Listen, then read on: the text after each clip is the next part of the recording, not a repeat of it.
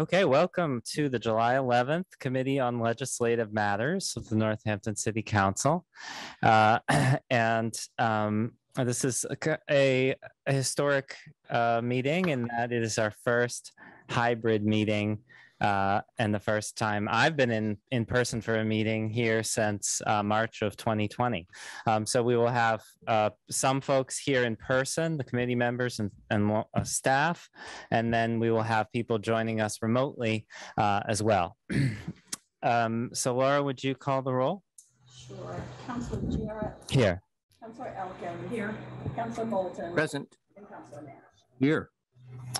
Uh, So this meeting is being audio and video recorded.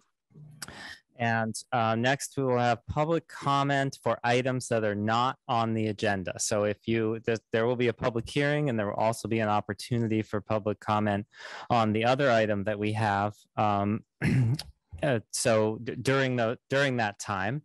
uh, So, but if you are here to comment on something that is not on the agenda, then if you could raise your Zoom hand uh, or your if your video's on your um, actual hand and uh, we will take that comment Don't see any hands raised at the moment.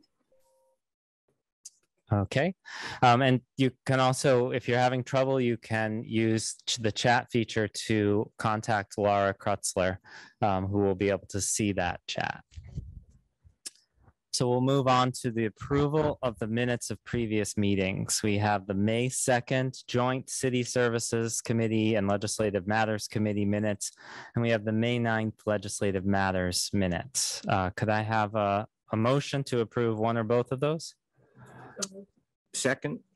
for both? Yes. Okay, any discussion? Roll call? Counselor Jarrett, Yes. Counselor Elkins. Yes. Counselor Moulton. Yes. And Counselor Nash. Yes. Okay, the minutes of those two meetings pass unanimously. Um, and uh, just a reminder, I'm happy to be referred to by my honorific or my first name. Um, I'm fine with the- no need for me for formality uh, here. So we'll move on to 22.110, an ordinance to rezone 130 Pine Street from urban residential B to office industrial. This was referred to the planning board, community resources, and to us legislative matters. Uh, It received a uh, positive recommendation from the planning board with a request that Bombyx meet with the abutters to discuss operating conditions slash restrictions. That was on June 9th. And then it received a positive recommendation from community resources. Um, And as I recall, there was also the question uh, of that the since the development agreement is not finalized, that that would be um, assuming that that development agreement work would continue and that the full council or this committee would review the the development agreement more fully. Uh, so we are now going to have a public hearing uh, on this topic, and um, so just a reminder that this for committee members that this is our opportunity to hear from the public and from city staff and to ask questions.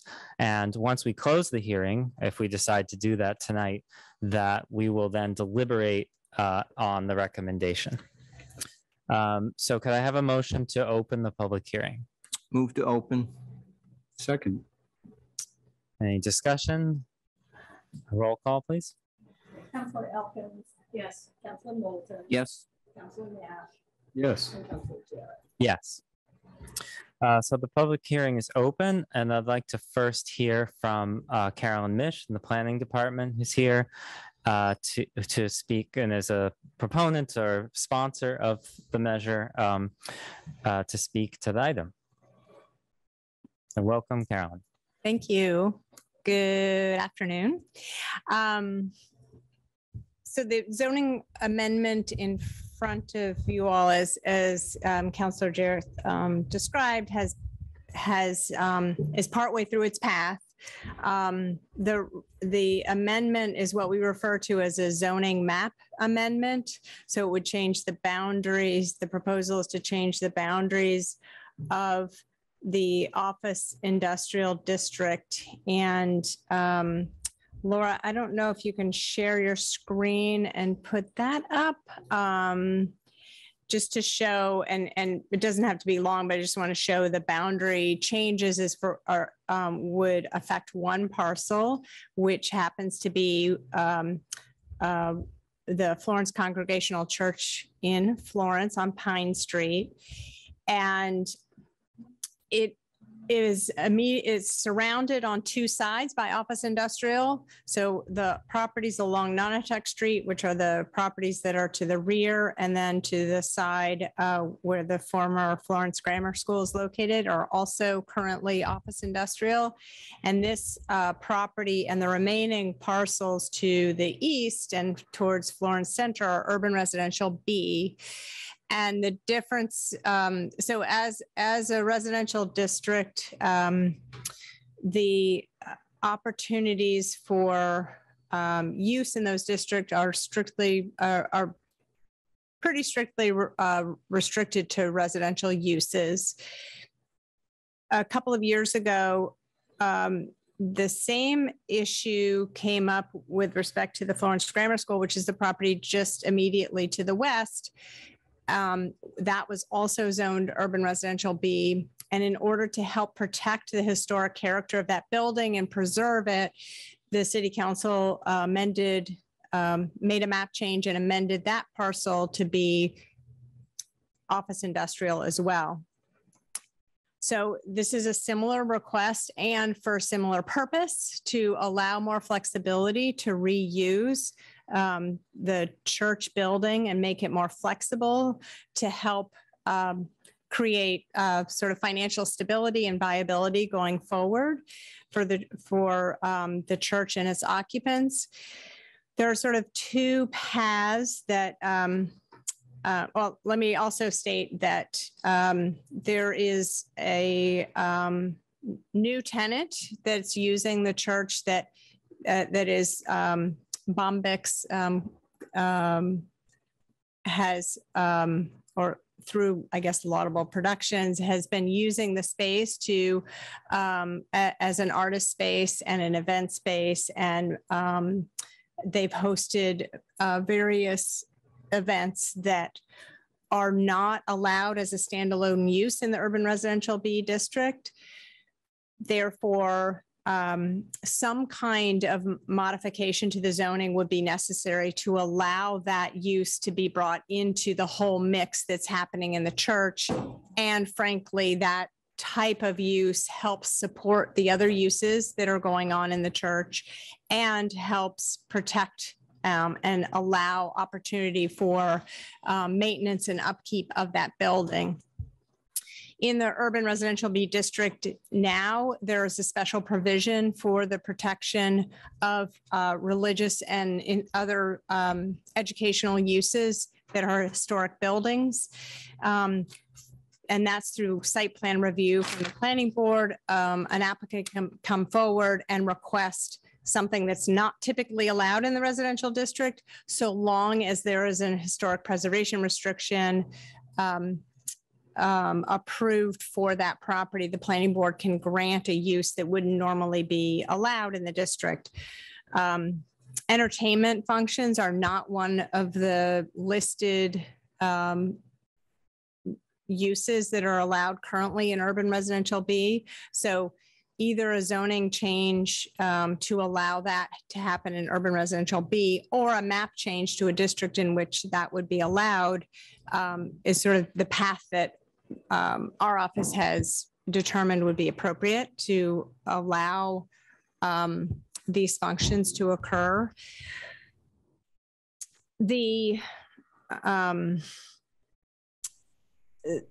Bombyx um, and the city sort of suggested that office industrial map change would be appropriate so long as an historic preservation restriction were also simultaneously um, recorded on the property because that mirrors what the current provisions are in the urban residential B district sort of for that same um, purpose. And so that's the path that we're on right now. And that's where the side development agreement comes into play because it's not written into zoning that this is a provision um, currently that um, is tied to a use. Um, Bombyx has um, offered that they, their intention is to preserve the building so that they would be amenable to um, agreeing to a development agreement that would result in the recording of an historic preservation restriction. As you mentioned, this went through the planning board. The planning board discussed issues related, you know, the differences between sort of going through the urban residential B path and modifying the zoning versus this path. The planning board also heard about issues during their public hearing in June related to um, potential ancillary impacts from the functions that um, are directly related to what um, Bombyx is doing. So mostly, primarily noise and some traffic issues. Um, planning board also heard, and we and it was discussed in that hearing that those issues can be um, regulated through the licensing process through either the mayoral license provision for entertainment or um, uh, alcohol and liquor licensing that um, is um, much more stringent in terms of regulating noise and other impacts that um, entertainment venues might um, generate on a site.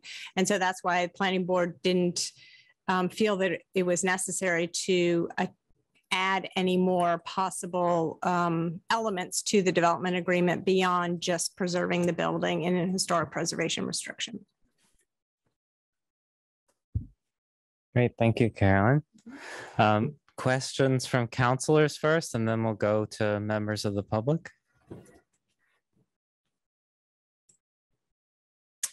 Stan, Um, Carolyn, what, uh, is your, uh, what is your reasoning for taking this route, uh, to change, uh, the zoning map? Um, as opposed to adding a, uh, a use to URB, which would cover the, the performances, um, that Bombyx is holding and, and plans to hold? And that then would go through the, uh, the permitting process through the, through the planning board. I think there's sort of two reasons. One is office industrial does allow a, a broader range of uses. Um, so um, back office uses, research and development. In addition, it's easier to share parking and other sort of resources on the ground if you're in the same zone. And since the Florence Grammar School immediately next door has a parking um, area that is currently um, shared, from what I understand, the church in terms of offering spillover parking, that um, that's m- more easily accomplished when the zoning districts are the same. Thanks. Definitely a dog. Not mentioned, right? Where? I think it's, I think it's in someone's, uh, yeah, I don't think it's here. Other questions from counselors? Jim, Um, hello, Carolyn. Um, so what other special uses is the applicant looking to do here? I know there's entertainment. Wasn't there something about an industrial kitchen that would also wouldn't fit under URB? Correct. Yes. So um, a commercial con- um, kitchen so that that could be shared for um, and any sort of that kind of use is definitely allowed in office industrial as well. And the planning, I mean, that could be written into an urban residential B allowance as well, but it might not fit so well in other locations. Um, whereas this is right on the edge of the industrial district. And so when we talk about changing the urban residential B text, that would um, open up those opportunities for churches and schools throughout the residential district, um, wherever you, you know, URB is. So um, there are other churches in Northampton that are in urban residential B. So it might not necessarily be so appropriate in those locations, but this is right next to um, the, you know, the Nonotuck Mills and, and that um, area. And, and are there other uses that we're anticipating from the applicant other than entertainment or the industrial kitchen or is there, a is there other uses that might be helpful for this particular property and the applicant? Well, actually, for this location. Um, yeah, so I want to be clear that, you know, you're looking at changing the zoning and it can't be tied to a particular user. Yes, that's why I was rephrased. And, um, But we have this agreement too that kind of, all right, go ahead. Right. So there are a range of um, arts and cultural events that um, Bombyx um, is anticipating to sponsor. I don't think um, there's necessarily, there are boundaries around sort of all the types of things that would fit into that category, but it's not just about entertainment. It's also about providing space and um, um, community lectures and and other functions in that space. Um, but again, you know, this is about sort of thinking about about the uses allowed in office industrial and not necessarily just um, Bombyx, even though their intention is to stay there as long as they possibly can. Mhm. And, um, and so if, if it were URB, it would be required to have its own parking, correct? For this particular use? I'm guessing. So by having it OI, it actually allows this, this sharing arrangement, which I actually know has been going on for years because the, the preschool there, that's, that's their pickup drop off area. And, um, and I imagine while the, the church was in operation that, that, um, people park there as well. So I think that's, that's a great solution. It certainly makes it from a regulatory perspective, because we don't have this um, parking um, requirements that we do in office industrial that there are in urban residential B, that makes it much more flexible and easier to use. There are a number of non I shouldn't say that. There are some non-conforming aspects of the church on this parcel, one of them being parking. So um, that could continue to exist even in urban residential B as a pre-existing nonconformity, but then it might trigger a requirement to go to the zoning board, for example, if another use were proposed that um, required additional parking. And certainly that would be one of the um, factors in any review that the planning board might undertake for, for a use. One more question. So in relating to the agreement here, so the agreement seems to be, I, when I'm reading it, it, it seems to be based on council approving the zoning and then the agreement kind of comes after it. Um, maybe I'm, I'm not a contract lawyer, but, um, but I, I know as we're, is, so where does this agreement stand in terms of uh, how, I mean, basically what I, what I see it saying is that, um, that the, um, I guess this is the applicant here for this particular, that they, um, or no, it's for, it's for the property owner, right? Yeah, so it's the property owner, and the way it's written is that the development agreement would get signed first, Right. but um, it's sort of tied to the zoning. So if the zoning doesn't change, then um, you know, there's a clause here that if it doesn't change within five minutes, um, then um, or it's determined not to be legal, then you know, they don't necessarily have to record the restriction. Right. So the intention is really the development agreement gets signed before the zoning is changed. Okay. So, if council approves the zoning before this is signed, we're doing things a little out of order. But typically, we would want to see the development, yes, typically we would want to see the agreement signed first and then um, that's sort of on the books, a separate action that's taken and then a- a zoning change could be made. But that doesn't, I mean, you could, as a committee, recommend that council adopt it if the development agreement is signed before that vote. So you, you know, if it's not, you don't necessarily, and you have 90 days from the close of the public hearing to um, act on a a zoning amendment. So it could go to council and then there's time in that 90-day window to um, have that development agreement finalized and recorded. And is there any timeline in terms of getting the, the?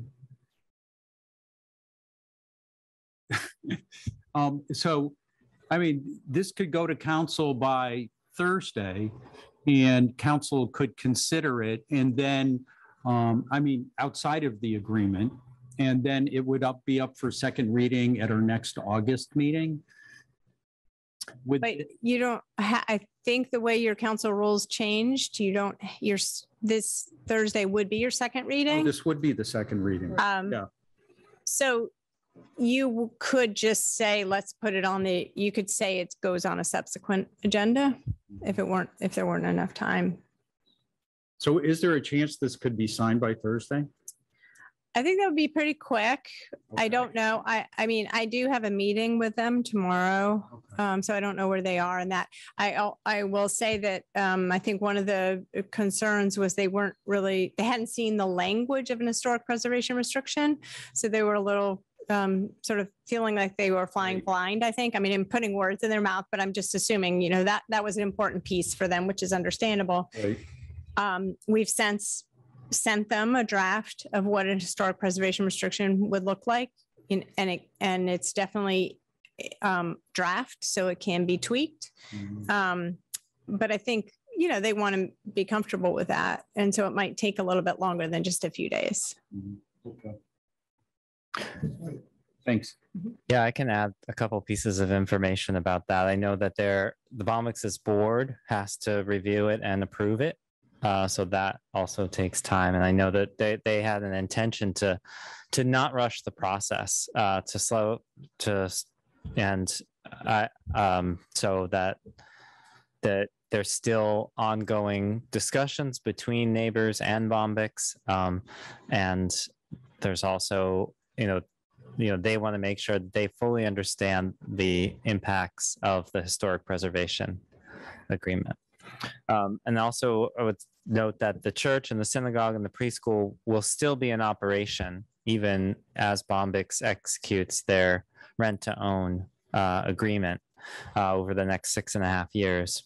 Um, and then other events, uh, weddings and other private events was another thing I've heard um, which and some of those already occur as an accessory use or as part of the church and the synagogue use. Um, so tha- that was another use that I had heard. Uh, other questions from counselors before we open it up to the public? Stan. Uh, Well, I just, I just want to say that I, I would be hesitant to approve the zoning change before I see the uh, completed um, agreement, development agreement. Um, The development agreement, um, as I see it in this draft, is a, a imposes a permanent historic preservation restriction. Correct? Correct. Permanent being the maximum of 30 years. Okay, so it imposes a 30-year Mhm. agreement, restriction. Mhm. And uh, are there elements of that that would, that would make it very difficult for other allowed uses in OI to be carried out? For example, manufacturing, uh, wholesale trade and distribution, uh, research and development. Uh, What, what, what is in that agreement to preserve the historic nature of the building that would make it very difficult for other allowed uses uh, in OI to, to, to be, uh, be executed. The historic preservation restriction is really about protecting the exterior elements that are historically significant. So the windows, the door openings, the, you know, the roof lines, um, it can be materials and, and, um, um, trim and things like that that are visible. Um, and to the extent that those other it's very hard to repurpose a church building for those types of uses that you're referring to.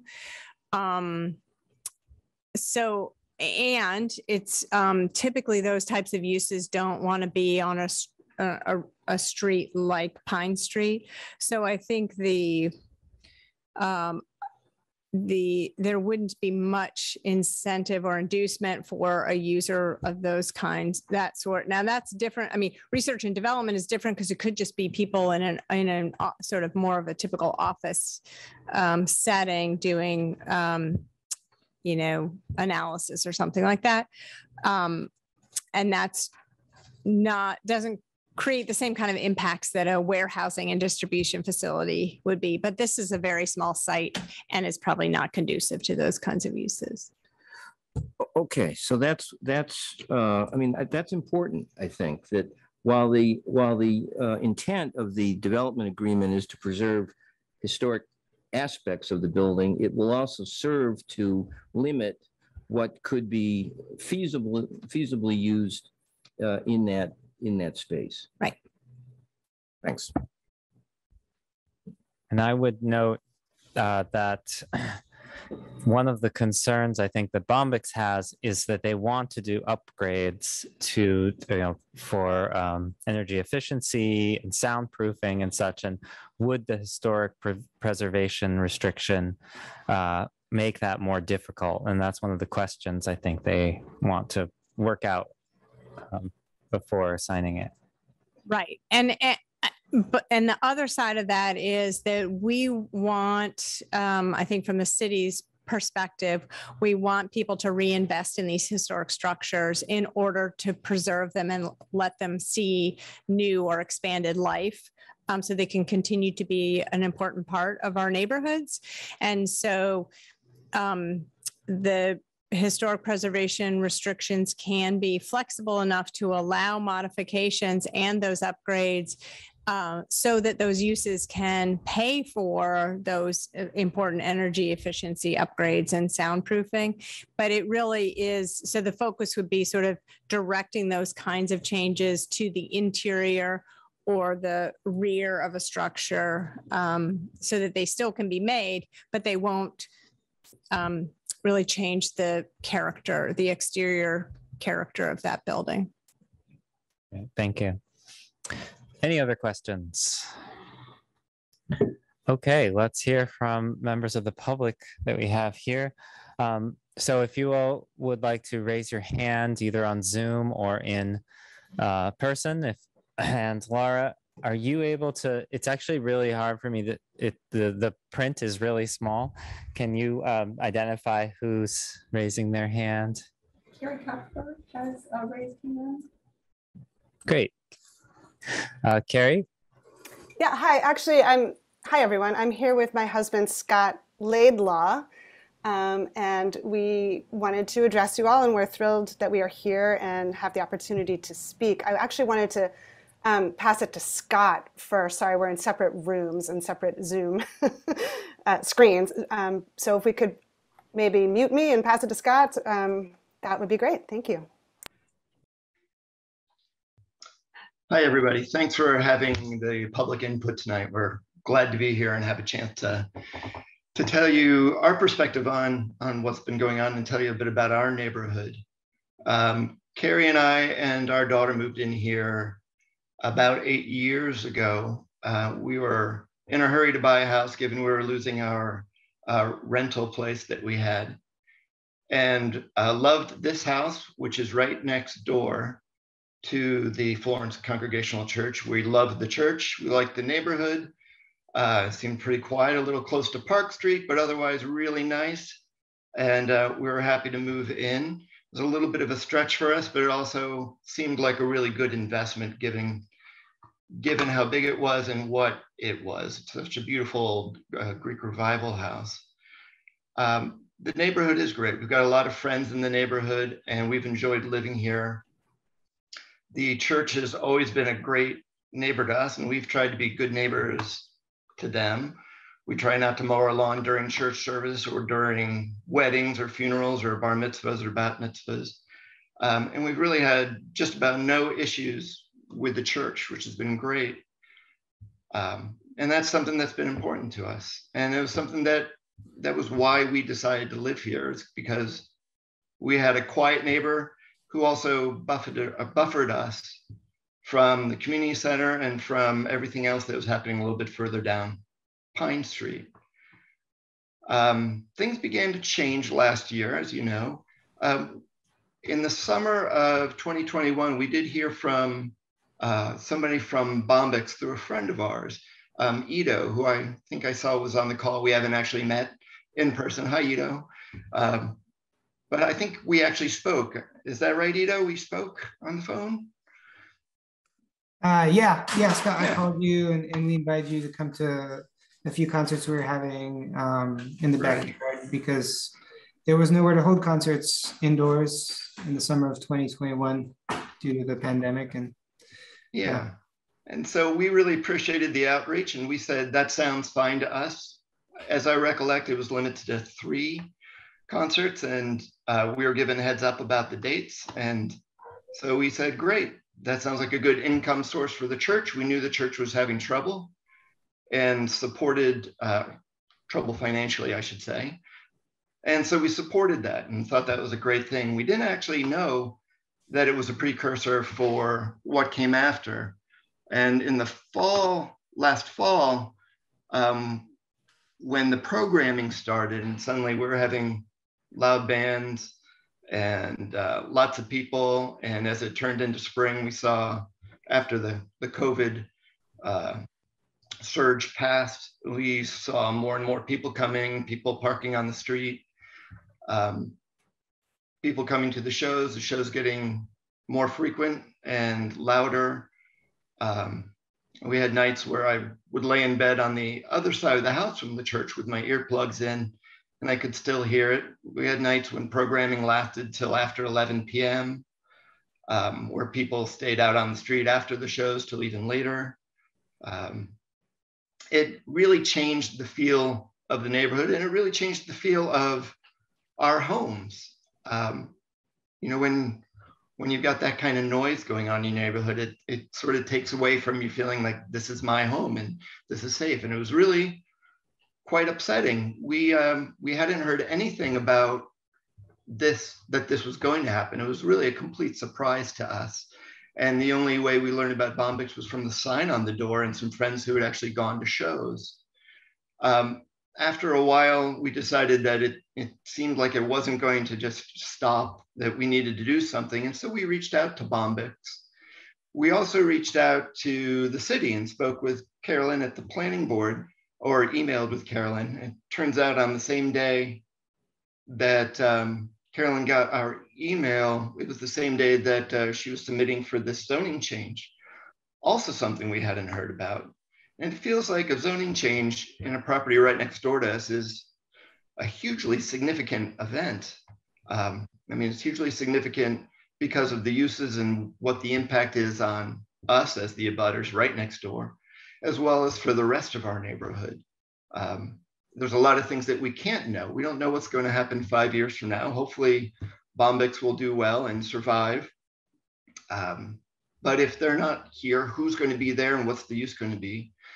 That's going to be dictated or at least um, enabled by the zoning changes. So this is really huge to us. And uh, we're very concerned. Um, and I think I want to say that it's it's still a surprise of what uh, that this church, which is a wood frame church right next to a wood framed house that we live in, all the other wood framed houses on the street. Um, that it should be used as a performing arts center doesn't seem like a natural fit. It's um, it doesn't. Uh, most performing arts centers in town, like the Calvin or Pearl Street or the Academy of Music, are in big masonry buildings that contain their sound quite well. They're also in downtown entertainment districts. The only other place I think around that is in kind of a residential neighborhood, or at least on the edge of one, that has regular performances is the Arts Trust. And I happen to know that they are going way out of their way to be constructing double walls with an inch and a quarter of drywall and three inches at least of very heavy mineral wool insulation, insulation bats to protect against sound leaking out or conversely sound leaking in. So that the church next door to us is being used for this purpose seems like a not the most natural fit. And the fact that we can hear them uh, so well is kind of testament to that. Now, I sh should mention that we did reach out to Bombyx and we heard back from Cassandra and subsequently met with Cassandra and Kyle and some of the members of the board. And we really appreciated their taking the time to talk to us. We've met twice now, and I believe we'll be meeting more, although we don't have any times on the book at the moment. And we talked to them about our concerns, and they were very kind and listened to what we had to say. Um, when we've got a lot to say, and it's, I should also mention that it's not just us. There's a number of households in our neighborhood. Many of them right now are empty as people are away on vacation, it being the middle of July. So not everybody is on the call, but there are a lot of people who are concerned and who are interested. And a number of them have met with Cassandra and Kyle also. Um, our goal with meeting with Cassandra and Kyle and company was to build a relationship, to talk about what our experience is, and hopefully to figure out a way to address this going forward so that we can have, we can feel comfortable that our neighborhood is being protected and that our homes, you know, our feeling of home is being protected. And we also want to make sure that Bombyx is successful. I'm sure there's many other uses that the church could be put to that we would like less than having a good organization like Bombyx, which is trying to do really good things in trying to save the church and in doing to, uh, doing the work to build community. Those are fabulous things that we support and like to see succeed. But we also need Bombyx to operate in such a way that it doesn't disturb or impact the neighborhood in really significant ways.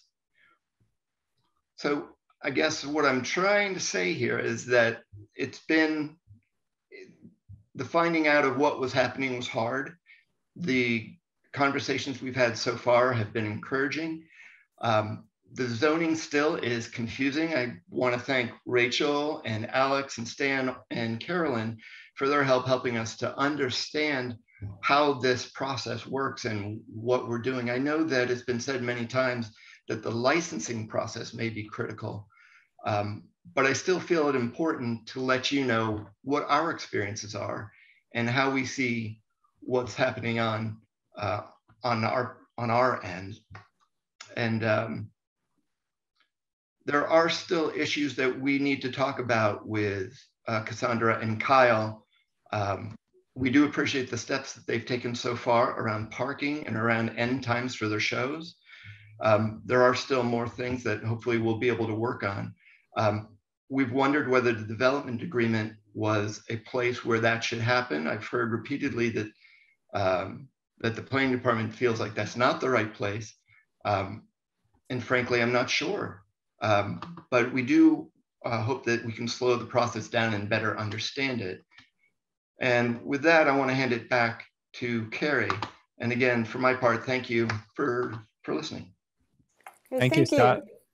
Thanks, Scott. Um, yeah, so as, as Scott said, we very much appreciate um, working with Cassandra um, and Kyle and their understanding and willingness to work with us. Um, and we fully intend to continue that. Um, but in and of itself, it's not enough.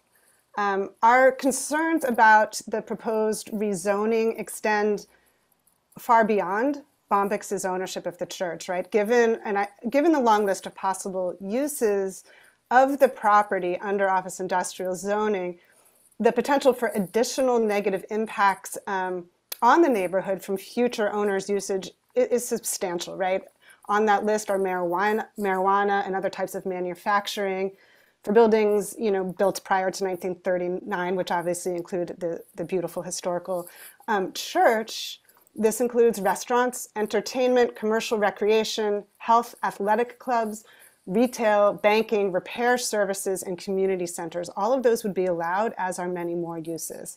And while the historic preservation restriction might make some of those uses less likely in a residential neighborhood like ours, it's no um, guarantee whatsoever. So for us, it seems clear without um, more time to work on the development agreement and to work on an, the agreements between the, the neighbors, as Scott said, most of whom are not here tonight, there have been seven households involved in these conversations representing families on Pine Street, Park Street, and Nonotuck. Um, unless and until these, these um, issues can really be hammered out in a thoughtful way um, that considers not just Bombyx's ownership, but any future ownerships and, the and their impact on the neighborhood, um, it seems clear to me that rejecting the zoning change would provide the best protection for the neighborhood.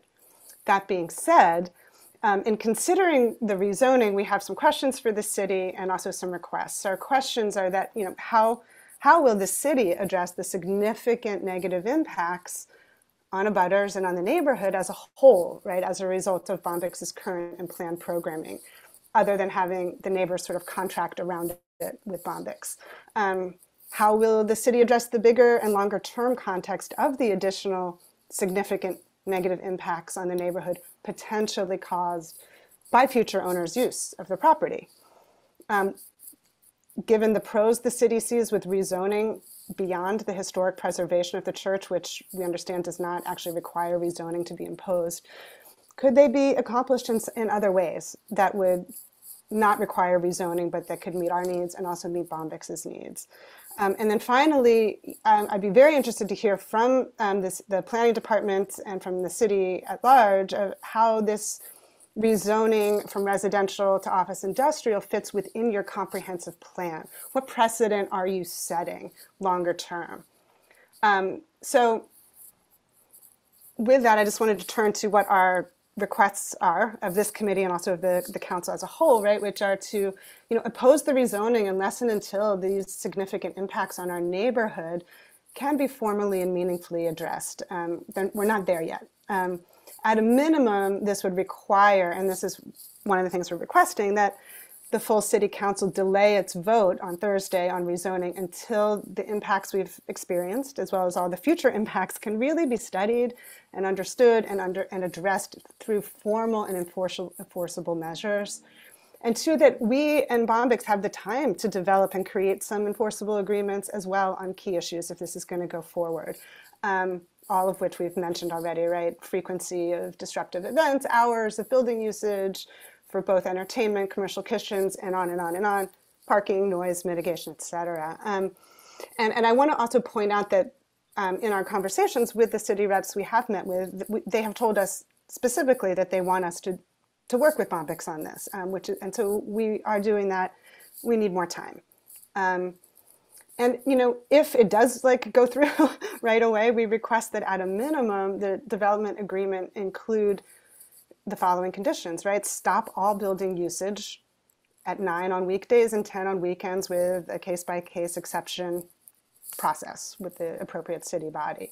Limit public shows with amplified sound to two evenings per week in the sanctuary. Limit outdoor shows to two per year, two, two per year with um, required outreach to the neighborhoods um, no marijuana manufacturing, sale, or distribution. I think we're kind of like saturated with the dispensaries at this point, and we certainly don't want one next door to us. Um, and even consider something like limiting the rezoning to Bombyx's ownership of the property and have it revert to residential with the next owner, or require the city to assess and, and address the neighborhood impacts of any prospective future new owner's use of the property before allowing a purchase to proceed. Um, so we, we're asking you to work with us um, and, and give us a seat at the table here. But, you know, mostly like I want to ask you all here to put yourselves in our shoes, right? I imagine that some of you, probably many, maybe even all of us here tonight live in areas that are currently zoned residential. So in that sense, this decision potentially affects all of us um, because of the pre precedent it could set. So I want you to just take a minute and I invite you to think about who are your neighbors to the left of you and to the right and imagine that one of those properties is going to suddenly be zoned office industrial and an entertainment venue or even a nightclub with multiple evening shows per month is going to move in. Would you and your family support or oppose that rezoning? If you would support it, like what kinds of restrictions would you want incorporated into the development agreement?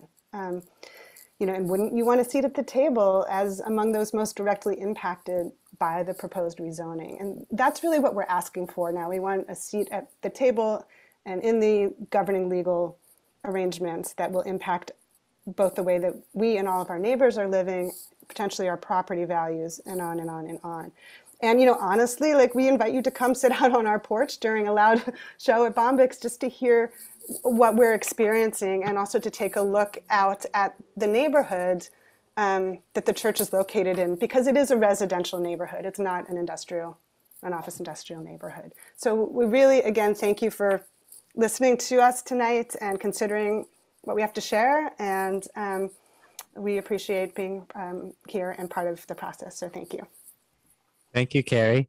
Uh, I have noted some of your questions. I hope I uh, there were also a number of other things I hope you will send us by email because it was hard to catch all of the different things. So if you could do that as well, that would be appreciated. Yeah, we will. Thank you. Um, so we'll, what we'll do is we'll continue to hear from members of the public and then we'll uh, get those questions answered. Uh, Laura, who is next on the list? Um, Delane Hudson. Hey, Delane Hudson. You have the floor. Hello, everyone. You want What is this one? want the, I want want the this one. Someone needs to mute. Um, there's a lot of that. Thank you. Yeah. Uh, Delane. Hi. Can everyone hear me all right? I apologize that my camera is mis- misfunctioning tonight. So, Yes. um, Yes, we can hear you. um, so everyone's benefit. My name is Delane Hudson. I'm here tonight with my husband, Bruce Frankel, and we live at 111 Nonotuck Street in walking proximity to the church. We've lived at this address and in this community with our daughter since 2013. And we appreciate the opportunity to share our experiences and our concerns with you tonight. Uh, I want to give you a little background on our perspective and why we're here tonight. So we chose our current home in the immediate Florence community based on its comprehensive character. It's residential, family oriented, and stable. Residents we've observed have raised children here, including ourselves. The turnover, for the most part, has reflected the natural evolution of the community. And we are so pleased to see young families moving in now with their children. We believe our house to be a good investment and we've made improvements needed to sustain its value.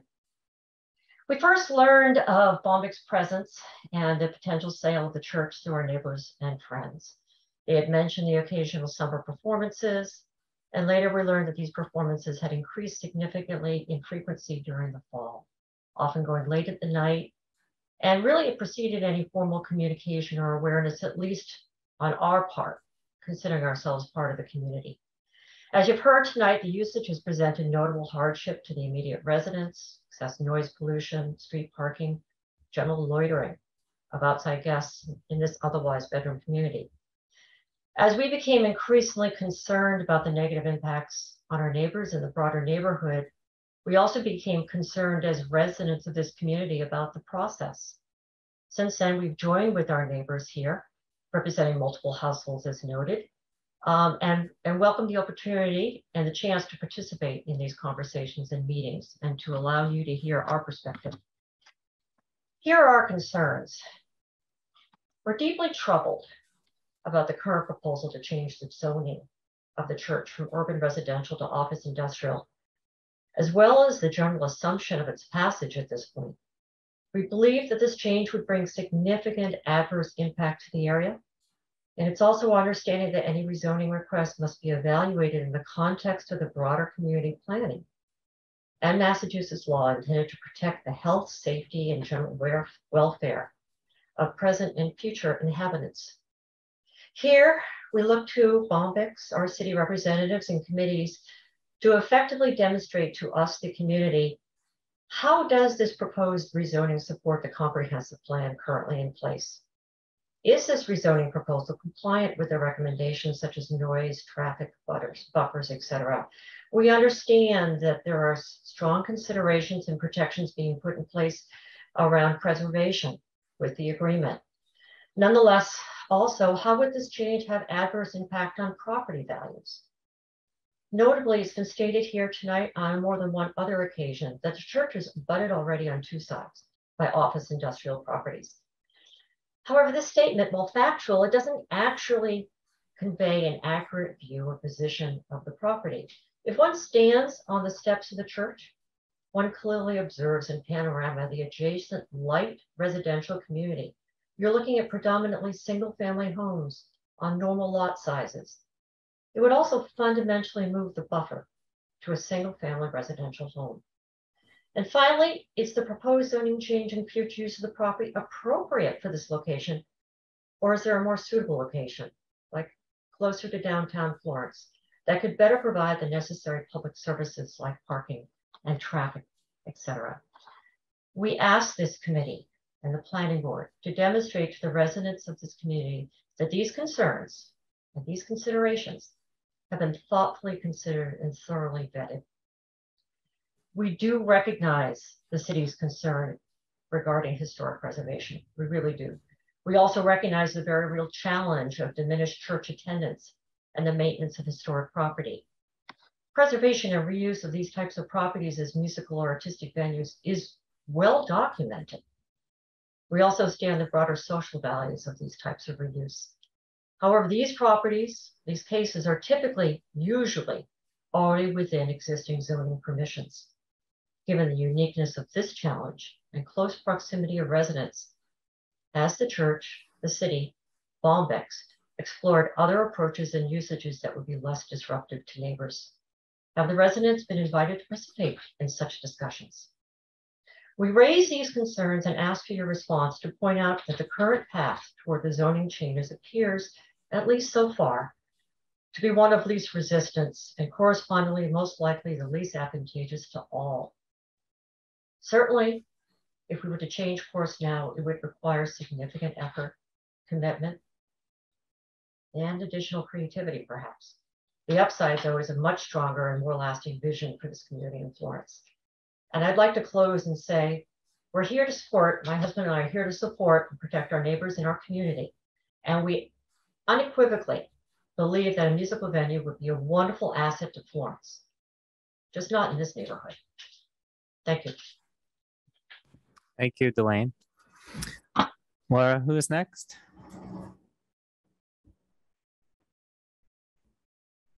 Okay, um, Rose Goldstein Bookbinder.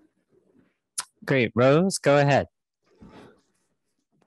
Hi, everyone. Um, my name is Rose Bookbinder Goldstein, and I um, reside in Haydenville, but I grew up in Northampton, and I'm here with my two kids. Um, Viva and Bay, and I'm just pointing them out because um, we have spent um, many events at the Bombyx, and it's been such an incredible um, opportunity to be able to bring my kids and my mother and our community to cherish in all of the different programming that Bombyx has put on. And um, as someone who has studied uh, labor history and social justice movements when I was able to walk into that space where I know Frederick Douglass and Sojourner Truth met and being able to reunite the community post COVID in that space has been such a valuable part of reemerging um, into society um, after being so isolated.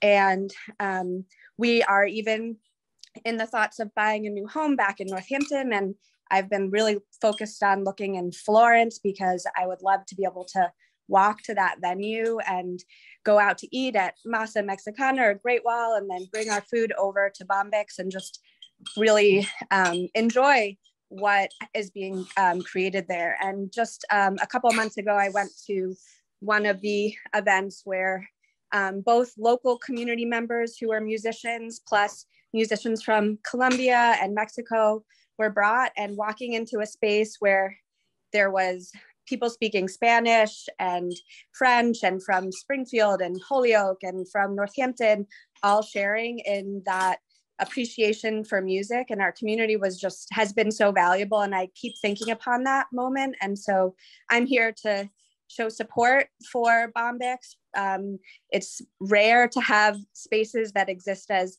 daycares and food spaces and community spaces and music and it's just um, a treasure. And i hope that the committee um, approves their um, that this zoning change to keep building upon it. And of course i hear the concerns but um, as as someone who drops my daughter off at dance right around the corner and has left the event early, I haven't heard the music coming out of the venue when the door is shut. So I think that there's creative ways to, of course, prevent you know um, sound disturbance to the community, but also hopefully it's not always seen as disturbance, but more as uh, joy, human joy um, existing in that community. And fully maybe the neighbors who feel con- who feel that concern and i totally get that as someone who've always been concerned about like a dunkin donuts going up in my community but now that it's here my kids get to walk over to it and get some donuts and in the end it, it wound up being nice. So i just i'm just hoping that um, you know while folks are concerned that you can also look at um, the ways that it's really going to bring a lot of vibrancy to florence. So that's it. Thank you, Rose. Still two other hands, Alexander Papuchis and Bruce Franklin. Great. Uh, Hi, good evening. yeah, Good- Alexander Papuchis, go ahead. Oh, thanks. Thank you for having me. Good evening, everybody. Um, uh, my name is Alexander Papuchis. I live uh, at 113 Nonotuck Street, uh, which is uh, not quite around the corner, but but a couple blocks away from Bombyx. And I'm chiming in and participating tonight in support of Bombyx and in support of the committee um, really thoughtfully rezoning um, to make their work possible. Uh, I would say a couple of things, um, which is that uh, while I haven't been involved in the creation of Bombyx, I have heard from uh, its early stages and conversations with folks who have been involved in creating it, first and foremost of their level of awareness and consideration about what it would take to create a, a venue and uh, a mixed usage space within a community. And I was impressed as somebody who's a facilitator and a coach and works with communities um, uh, locally and, and, and farther afoot uh, with how thoughtful they were about wanting to really involve the community in a process of understanding how it could work there. And so it's encouraging to hear both from Scott and from Carrie that they've been in con- conversation with Cassandra, that there's there really clear um, kind of questions and requests about uh, what would need to happen to make this space uh, a good one and a good fit for all people in the community. Um, and it seems from an outside perspective looking in that the, the rezoning allows for that to happen, um, that if you are able to thoughtfully find a path forward, uh, that it allows Bombyx and the people from Laudable who are involved to be able to make the retrofits that would be necessary to be able to add uh, soundboards and soundproofing uh, to, to, to maybe mitigate some of the noise that folks have some concerns about. So it, I, I would think that in a path forward um, and knowing how considerate Bombyx and others are in this process, that there would be a way um, to thread that needle to both have the center be as vibrant as kind of it is currently and is imagined to be, and also addressing community needs. Uh, I thought it was a creative solution that maybe Carrie suggested in terms of rezoning. I don't know if the city has power, but if there's a concern on the part of the residents longer term, well, if Bombyx doesn't make it, what comes next? If they don't, that if the city has power and agency to, to be able to have a clause in there um, that, that if Bombyx, for whatever reason, was not able to continue their work, that it would come back into conversation before another business moved in. That seems like a pretty elegant and creative solution. Um, so I would encourage the city to think about that. Um, from a resident's perspective, I would say that, um, and I, I am not a, a, while I am here uh, at, by myself, um, my wife, my my daughter, who's eight years old, uh, and many of our friends in the community have spoken really highly and feel um, like Bombyx is bring a, a, lot of amazing and creative energy to Florence. I see people um, in my neighborhood walking to, to the venue uh, when concerts are happening. I hear them, see them talking to each other. Uh, very much what you would expect in a congregation and people kind of going on a Sunday um, and meeting up with each other and connections being made. I think that's been a really powerful and wonderful contribution. Obviously, uh, it's not a nightclub. It's not intended to be a nightclub. Um, hearing about the vision of bombyx and the diversity of things that they want to offer to this community, I think is pretty exceptional. I don't know about other folks on this call, uh, having knowing a lot of friends who live in a lot of progressive communities around the country. This seems to be pretty exceptional and a pretty wonderful thing um, and reflects, I think, incredibly well um, on Northampton and Florence. Um, and so having a community center like this, having a venue like this that's holding lectures and also music, I think is a, is a win for our community in Florence. And I also think that it brings, uh, is going to continue to bring people to Florence, which uh, has a net benefit for the, the economy, the local economy, the other businesses that are in Florence, restaurants and shops. Um, so I think all of that is an incredibly great asset uh, for Florence and something that the committee should also consider in making their decision. Um, and, and I think that there's an opportunity here. I know that there's a lot of really cool stuff happening in Florence currently, kind of uh, as Florence has gone through many waves of kind of uh, renaissance. This is one of them. And I'm hearing a lot of stuff as somebody who's connected to the David Ruggles Center uh, and the local history movement, a lot of excitement around what Bombyx is bringing as part of the mosaic of things that are taking place now in Florence that are really uh, putting us back on the map as someplace that's doing really unique stuff and walking our talk. So uh, once again, as a community member, I fully support this. I think that the points that Carrie and Scott have brought up, while I don't know them in detail, some of them seem to me to be pretty thoughtful ones. I hope that there's a way for the committee to really recognize and hear those, for those conversations to continue and to make it possible for Bombyx to really um, to, to, to do their fullest work, um, which is a, a, bigger vision than, than I think a lot of people are hearing in terms of just music. So um, thank you for your time and uh, good night. Thank you, Alexander. Uh, I believe Bruce Frankel was next.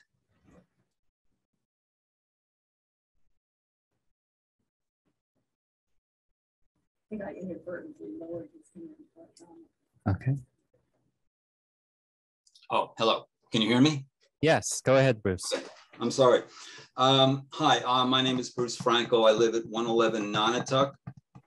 I'm Delane Hudson's husband who just spoke. I'm friends with Carrie and Scott, and I'm neighbors with Alexander who just spoke.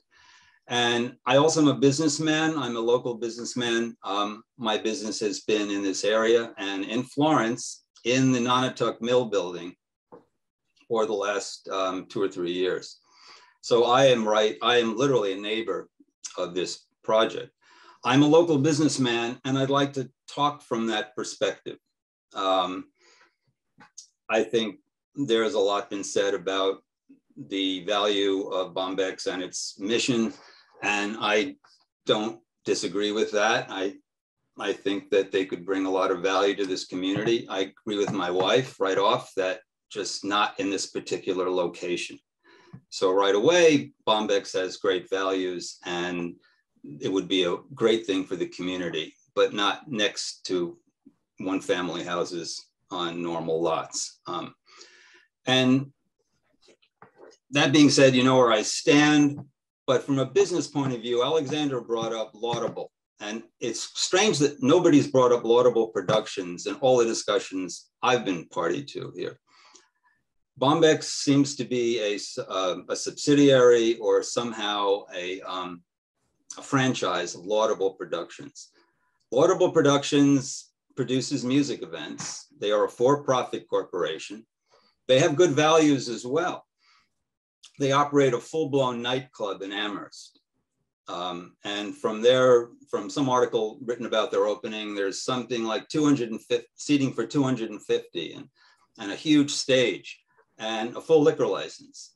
And this is great for the middle of Amherst, perhaps, and the community of Amherst welcome them. Maybe it doesn't disturb any residents of Amherst, but just to know what Laudable is about and what I think they're trying to do here. This is a future franchise of Laudable Productions. Bombyx is a, a very pretty face that they put on it. I understand. Um, but they're, in my opinion, they'll be looking for a liquor license pretty quickly. And here's why, as a businessman. The present tenants of this property, um, two congregations and a daycare center, seem to have financial difficulties. That's why they've reached out. And there's a big financial burden to keep this property um, viable. And there will be additional financial burdens with the uh, renovations that are needed to bring it up to code and also to keep the sound out. Um, Scott Laidlaw is an architect and he could he could talk to that probably better than I could, but it's probably a substantial cost. It's not a cost. It's not a ma matter of putting up, you know, insulation and, you know, uh, stuffing insulation in the walls. These are major, major renovations that have to be done at, at a substantial cost.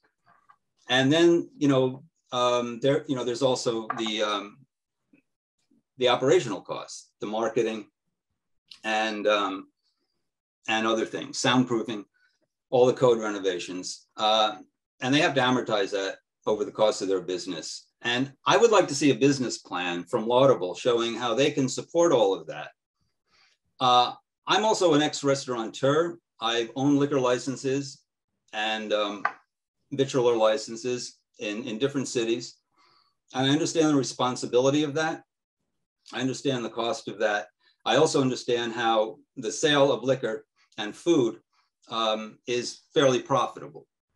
And in my opinion, what Laudable is trying to do here through Bombyx is open up a nightclub and a restaurant. And personally, I think that would be a great addition to Florence, but absolutely not this close to a residential neighborhood. Um, and that is where they want the zoning change. So they can make this change to a, a restaurant, a nightclub. It seems like the writing's on the wall for that. Um, I don't see how they could make ends meet without having those revenue streams in place.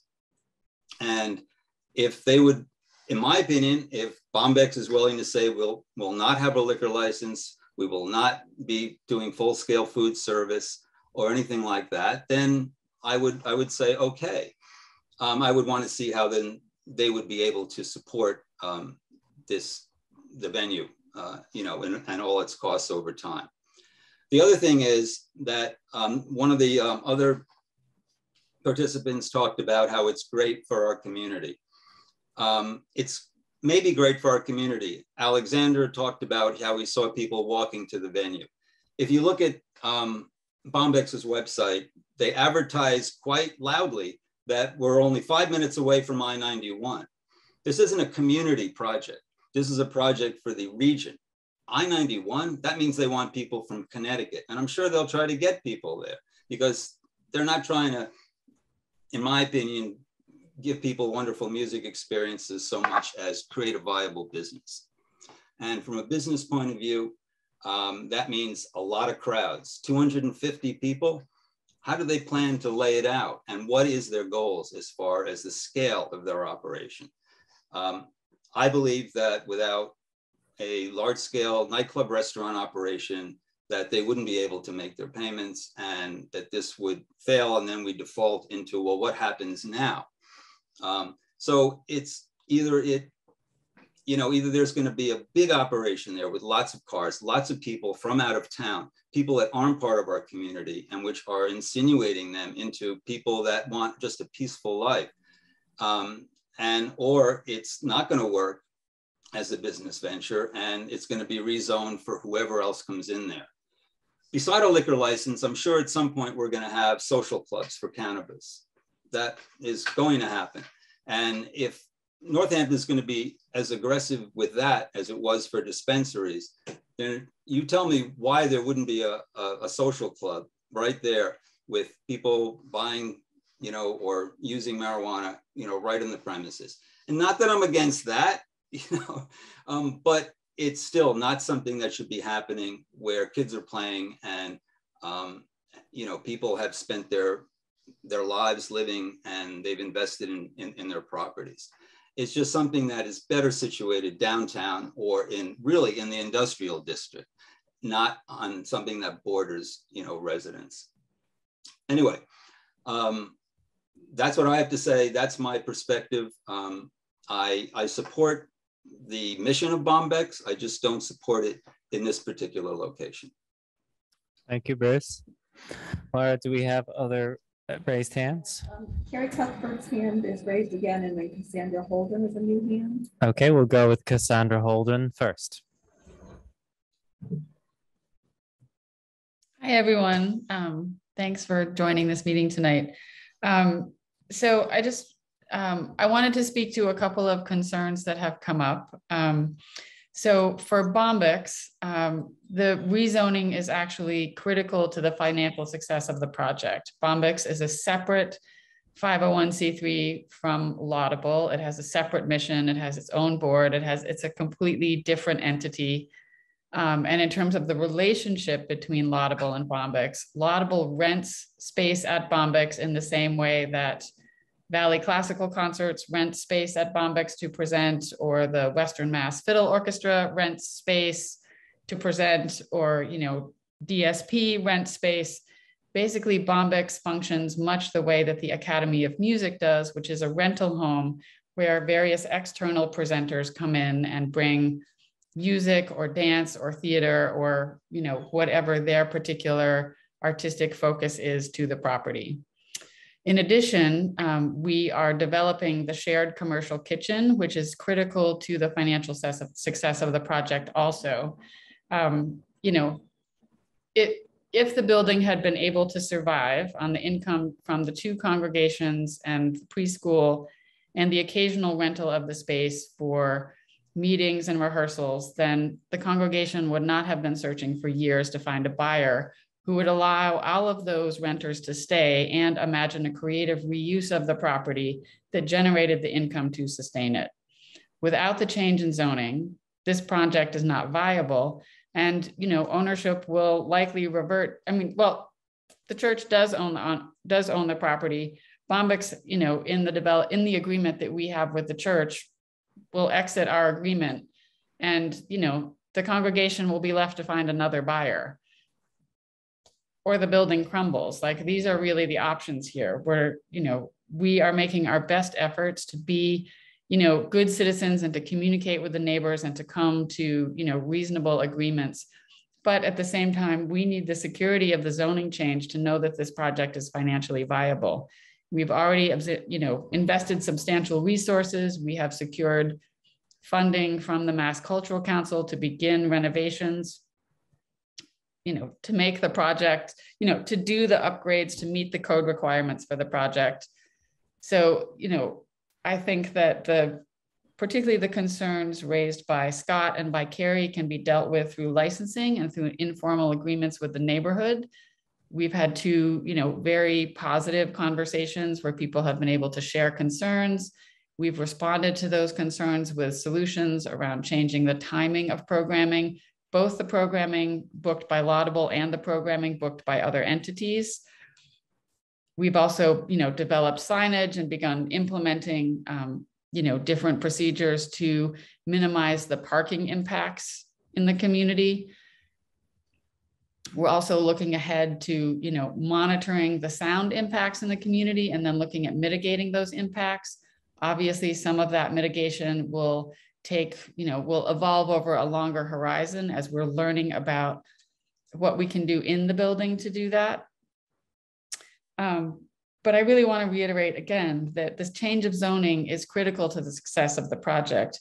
If the fear expressed by the community is that this could become something ultimately undesirable, if Bombyx doesn't thrive, then it seems like perhaps there is some, you know, creative uh, clause that could be added to the development agreement um, and I'm certainly open to that. Um, our, the Bombyx board president and I are meeting with Carolyn tomorrow morning to review the development agreement and to understand, you know, what we can and can't do and what adjustments might make sense.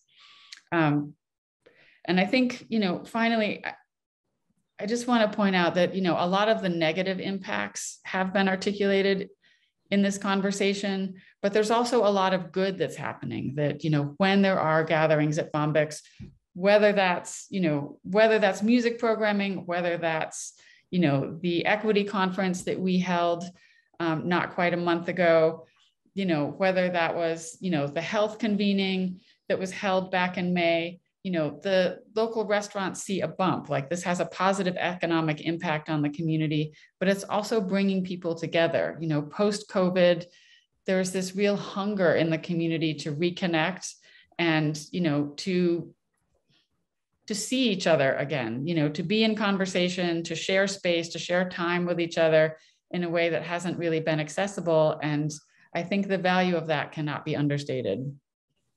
Thank you. Thank you, Cassandra.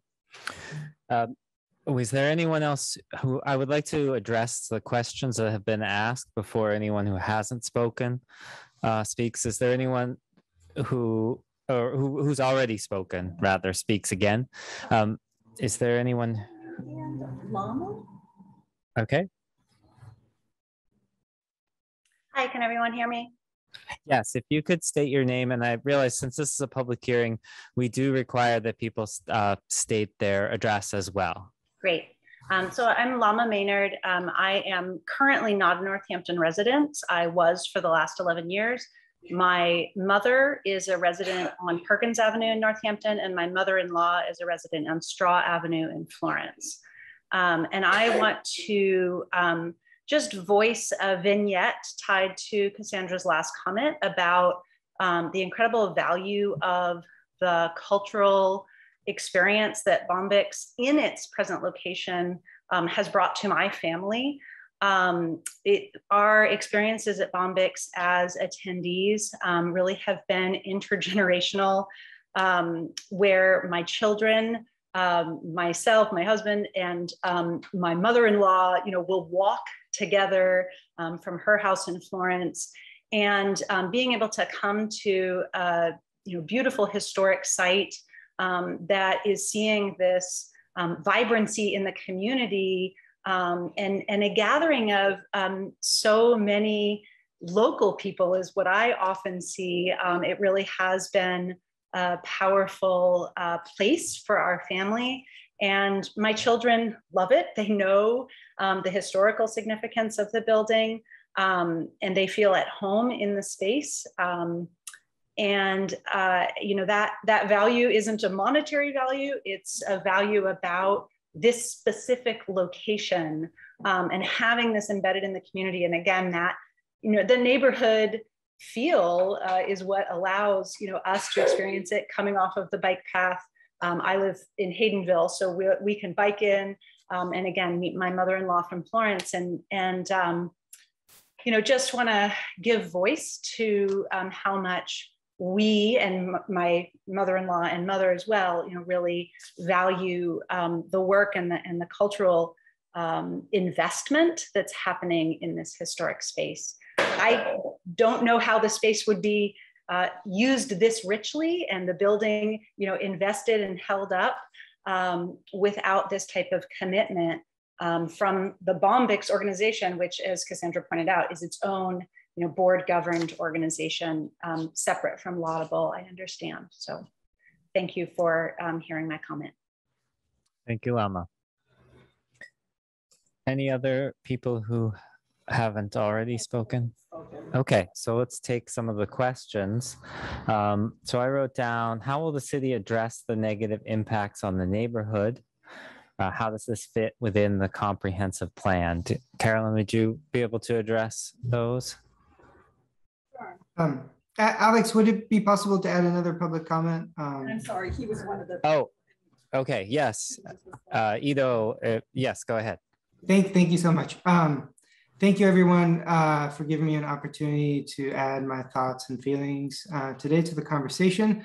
My name is Ido. I live on 32 North Farms Road in Williamsburg, just up the road from Florence uh, and really identify with Florence more as my neighborhood than uh, Haydenville, Williamsburg, because all my friends live there. It's where I go to the post office. It's where I go to Cooper's. Um, my parents live in the area and they own a property on Fruit Street in downtown Northampton. Um, so my, my community is effectively in Florence and Northampton, if not uh, where I reside. Um, additionally, I should explain, um, I have been working with Laudable Productions for the past five years. Uh, I first met Colin Cassandra because I heard of, of the incredible um, cultural work they do in East Hampton with a festival called Mill Pond Live, where they activate this park once a year and it becomes a place for people to gather from uh, from different parts of East Hampton and have an experience that I think is really singular and intergenerational and unique. And I met them through that. I started working with them to help them uh, more on the on the creative talent buying side of of what Laudable Productions does, which is what kind of artists are we bringing to the Valley? Um, and I've found them to be incredibly thoughtful and caring in that process. Um, they uh, have struck me over the years as the kind of people who, number one, they're not in it for the money. Number two, uh, they uh, really try to communicate with all parties when they uh, work um, in, in, new projects they're engaged in. Um, and, and three, I think that their core values align so well with the history of this building that when I heard, I, I try to often talk them out of crazy ideas, but when I heard um, the kind of the, their vision for the space, I really felt like it was fitting um, and could lead to becoming a really rich um, addition to the community of Florence and the broader valley. Um, I think I remember talking to Kyle last fall and, and asking him really, you know, are you really doing this? Why, why, why do you want to do this? And he told me um, that growing up in Northampton, he did not um, know the history of Sojourner Truth, did not know the history of this area at all, and that uh, to find it, that that it, it was kind of sitting there among us, but it wasn't anything that the community understood or had a way to interact with, made him want to create Bombyx. Um, so I really, I, uh, I respectfully disagree with the idea that we're that Laudable Productions has created an organization called Bombyx to start a nightclub in Florence. That's uh, seems kind of ludicrous to me. Um, I do want to acknowledge uh, all the neighbors near Bombyx and fully understand their concerns. Uh, Carrie, Scott, uh, Bruce, and uh, Delane as well. Um, and I think that when I think back to last fall when Bombyx opened, uh, I think that there was and there could have been more communication. Um, I think that there was a lot of stress involved in when the project started and uh, that my, my partners and friends are just human beings. And I think, you know, uh, we're dealing with so many different things on so many fronts that they, they didn't find a way to do this as best as they could have. Um, but I know that they've come around to really trying to figure out how to do this with the neighborhood to make it work for everybody. Um, which I feel is ultimately essential to this project.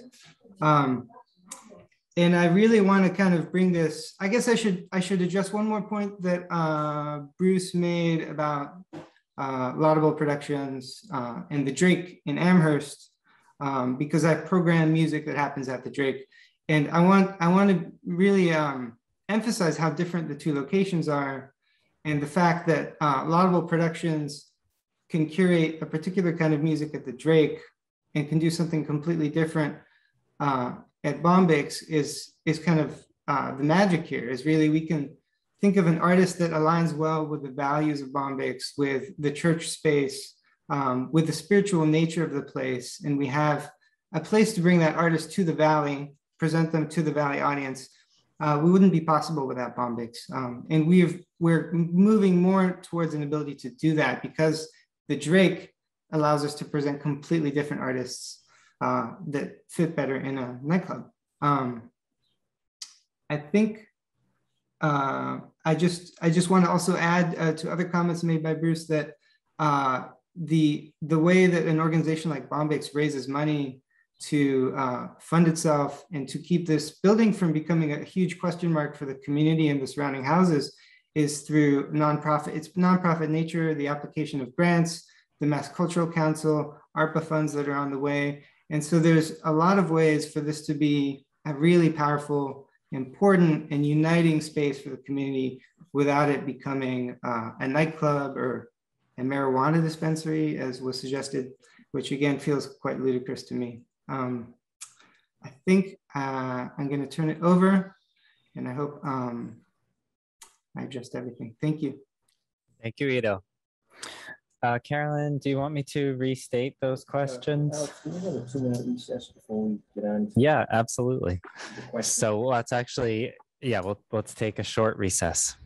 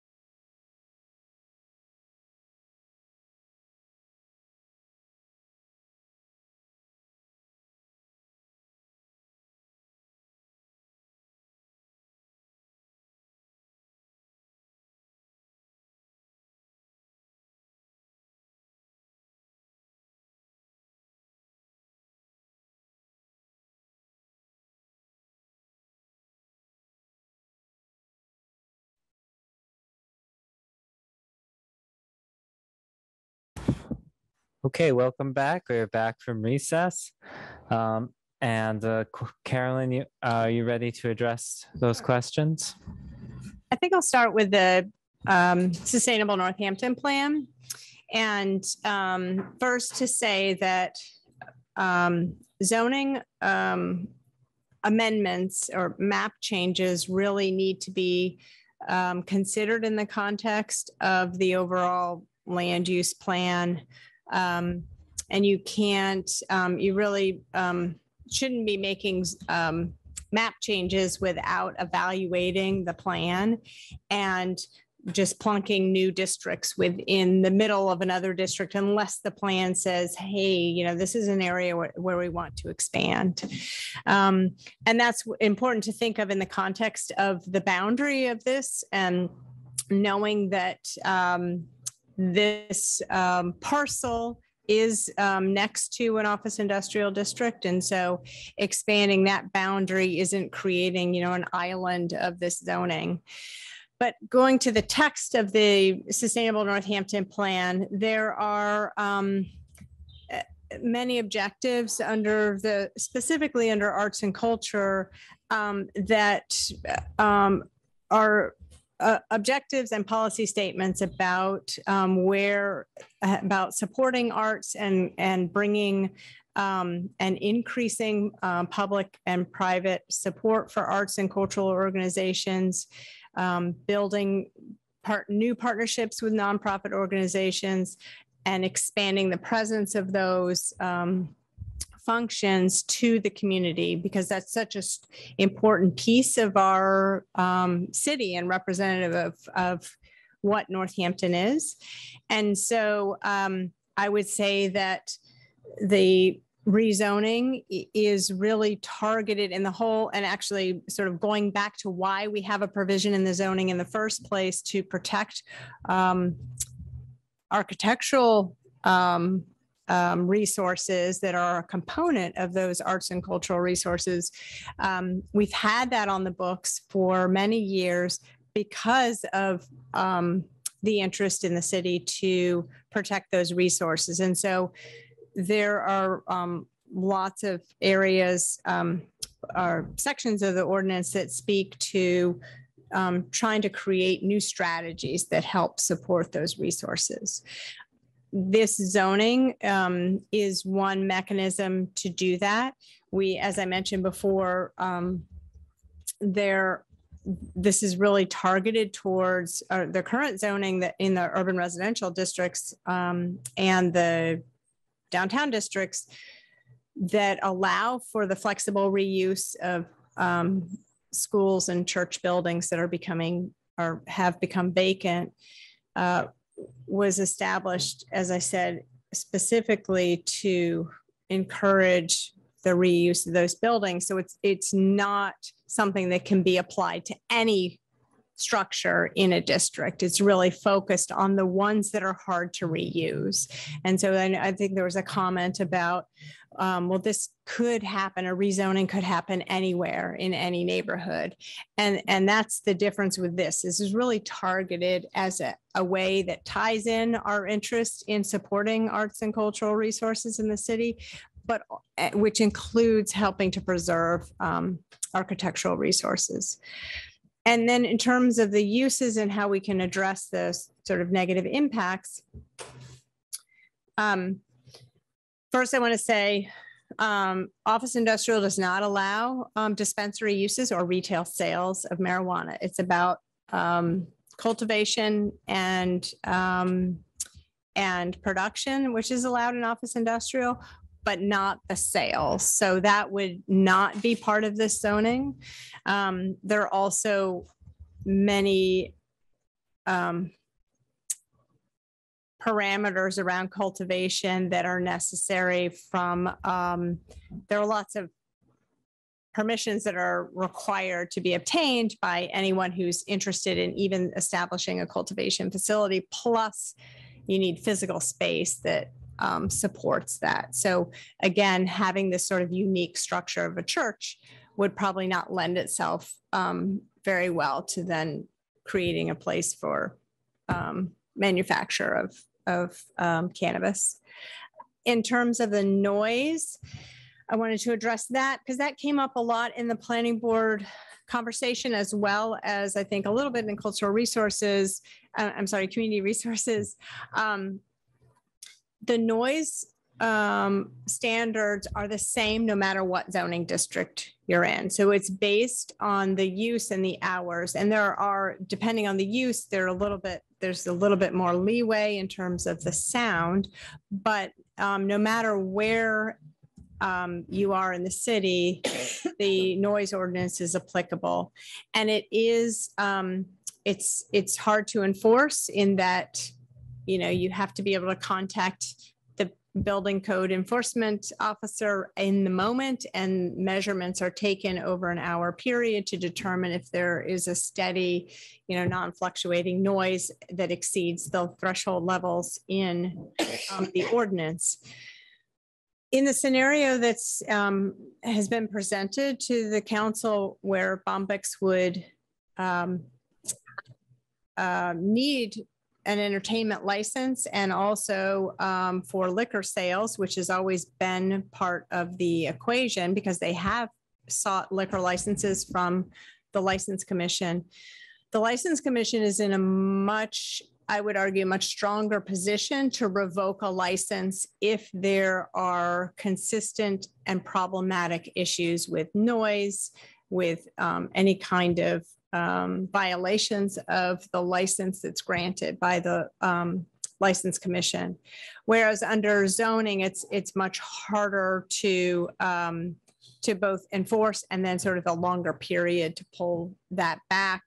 You can't revoke um, a use in the zoning district, but you can revoke a license. So um, I think that's a stronger um, mechanism to um, to help um, attenuate those concerns. Um, I think, um, let's see, there was another issue that came up um, that I don't think I addressed that you asked about, I think. Um, Well, there's the question of can rezoning be limited to just one owner? Right, right, right.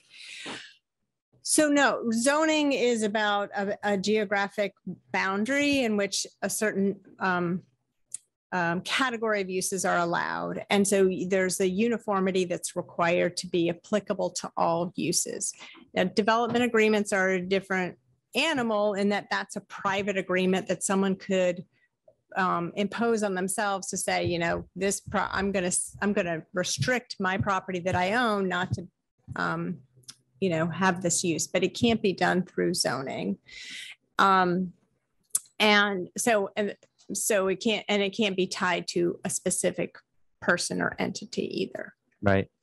Um, so there was a question about have residents been invited to participate in this process? I am I, I think it is clear that residents have been invited to participate in the city council's process in terms of the multiple uh, two public hearings and the um, uh, another committee meeting. Um, but perhaps the question was uh, was about the development agreement itself, uh, which is is just a private process, a private agreement between the city and the owners. Is that the how? Can you explain how the public can have input into that process? Yeah, I mean, I think the what's uh, uh, what's happening now with the um, neighbors, the immediate neighbors communicating with Bombyx about their concerns and about how those may be addressed is the um, is the appropriate mechanism for that to happen. Develop, I mean, Bombyx isn't going to sign a development agreement that will um, create such a burden that will not allow them to function that that will make them in a way that will make them successful. Mhm. So I think that it's important to understand that there is a balance there, that they are def- clearly have shown that they're listening and um, take these concerns seriously. Um, but they also need to um, have an um, understanding that they won't be restricted to such a great extent that they can't function there. Um, I think a lot again, sort of uh, a lot of the issues do go back to noise and sound attenuation, and um, that certainly can be addressed through licensing. Thank you. Um, I think I summarized the questions that I heard. Uh, I think we'll now go back uh, and hear from members of the public again. Um, and uh, so, Carrie Cuthbert. Yeah, hi. Yeah, thank you. Um, hi, everybody. I just, um, this is really helpful. And I, I just wanted to um, appreciate what Rose and Alexander and, and Nama um, shared about the value of uh, Bombyx's programming. Um, I, I think um, if I'm hearing everybody correctly, we are all in agreement about the, the cultural value of uh, and the mission of Bombyx, right? So, I, and and also with the uh, need to preserve the historic nature of this church um, and all the history that um, it has there. Um, I think where I just want to just emphasize where we're different or where we is that you know while like Rose and um, Yama's families live in Haydenville, Alexandra even down on Nonotuck, like that's different than living next door or even one door down um, or across the street. And so um, I wanted to just, I guess, reiterate that my request is that we slow this process down and not vote on the rezoning on Thursday. The clay is still wet in the sense that um, all of the stakeholders' needs have not yet really been had the oxygen we've needed to kind of hammer it out. You know, whether it's the development agreements, an informal or formal neighbor uh, re- agreement with the neighbors in Bombyx, or even the time for us as residents and maybe Bombyx, I'm not sure, um, to understand the licensing framework available to us.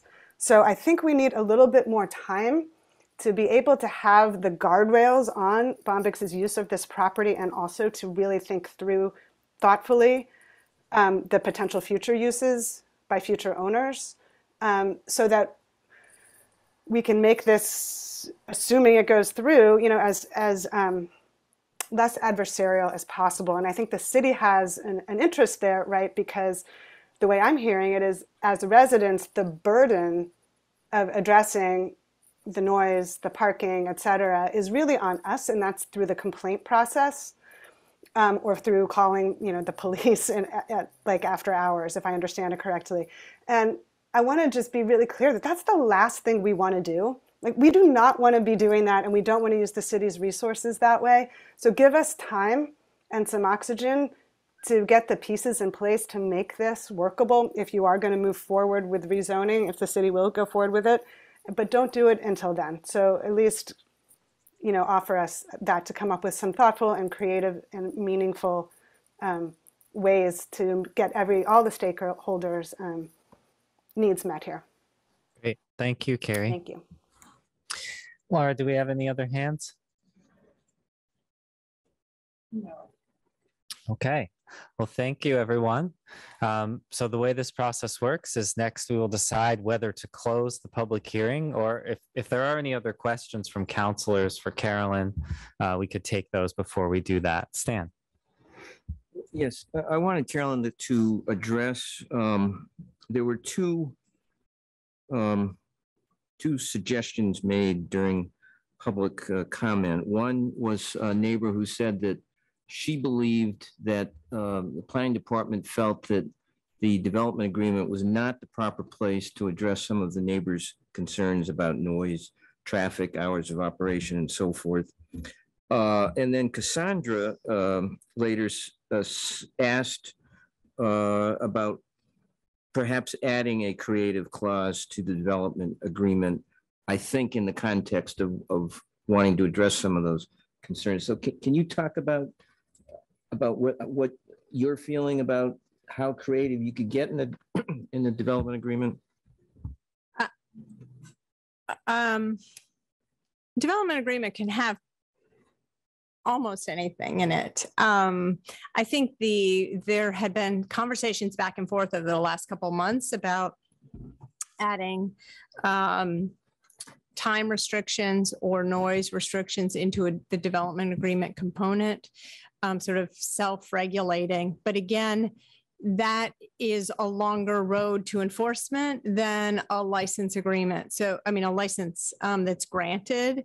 So, license again, so licensing licenses can be revoked, revoked temporarily, revoked, you know, whatever the um, I don't know all the details about the licensing process, um, and so that seems to be perhaps a more targeted tool that would be more appropriate than um, the enforceability of um, a development agreement. It's not that it's not enforceable, it's just going to be harder to enforce. Um, so I think what I heard um, Cassandra say about um, creative um, uh, language in the development agreement was in the context of restricting potential future uses. Um, but I may have I may have misheard that because you may have heard something different. But that certainly it, it- you can restrict uses in a development agreement. So Bombyx could include, you know, a list of uses that would not be um, allowed. And, and you would be more comfortable with that than uh, specifics about time and other operating conditions? Um, I yes, I think it's easier to enforce that. Any other questions from councilors? Jim. So, um, yeah, I'm interested in, all right, so Alex and I have been through this before around the noise ordinance and stuff. And that, so the enforcement for the noise ordinance is the building department, is that correct? But in terms of the, it's the, um, the licensing board that could have a say over whether or not a venue is too loud and suspend a liquor license. And it's, it's just gone on, it- it- what I'm seeing is how the two aren't really tied together and that, um, and that there are, um, decibel levels or noise levels that can be measured that become data, um, much in the way we did data fact finding on the proposed animal control facility where we projected noise over a distance to see what it's like. Um, it's all to say that if, if there's a way to quantify things so that, um, uh, that neighbors' protections are like, yeah, we have a noise ordinance that's quantifiable in this particular way. And if it goes above this threshold, then, yeah, then either the building inspector or the liquor or the the license commission will have something to say about it. Otherwise, you haven't reached that threshold. Um, and, and, and I'm thinking if there were mechanisms in place like that, that, that would be helpful. Um, I have seen the, uh, the licensing commission be really effective. when it- Jim, your mic's not on. Oh, Hopefully they could still hear it, could still hear you. well, I'm so loud usually. Yeah. They can hear me all the way out in Florence. Uh, That, um, yeah, I, I've seen that as a mechanism for really, uh, for uh, addressing noise complaints from a club. And, um, and so, all right, so within that, there was, a this is an entertainment venue. And, and it was mentioned this idea of a, of it becoming a club or, you know, it, what is the difference between the two? That, you know, I think sometimes it's hard to figure out, you know, that, um, and I mean, if I go to the Iron Horse and I, they have a bar and there's beer and I'm thinking this looks like a bar to me. And, but it could be a performance venue. Maybe that's what it is. And how is that different from, uh, the, the watering hole? I, I'm just in terms of what, and, and, and I think having that clarified for neighbors, like, you know, oh, it's a performance venue. This is what's gonna, you know, that the performances stop at a certain time. They can't be open till two in the morning or whatever. I, I haven't shut down a bar in a while. I don't know how late. From there, so there's two pieces to it. There's the, the zoning and the land use piece, and a lot of that is, becomes very gray. I'm not sure that you could necessarily distinguish between the two. um, Except that, um, you know, there might be more or less seating in one because maybe, maybe a club is more like a dance club or something like that. and It's less, uh, but I think the distinction really is, um, comes with the licensing, because you need a licensing for, I think you need an entertainment license and you need a liquor license if you're going to be serving, and there's different types of those. and I'm not going to pretend to know what each of those levels are. Um, but, you know, so the use part is just saying, okay, there are going to be performances, there might be food served. Um, and all of that is allowed in an historic building in office industrial.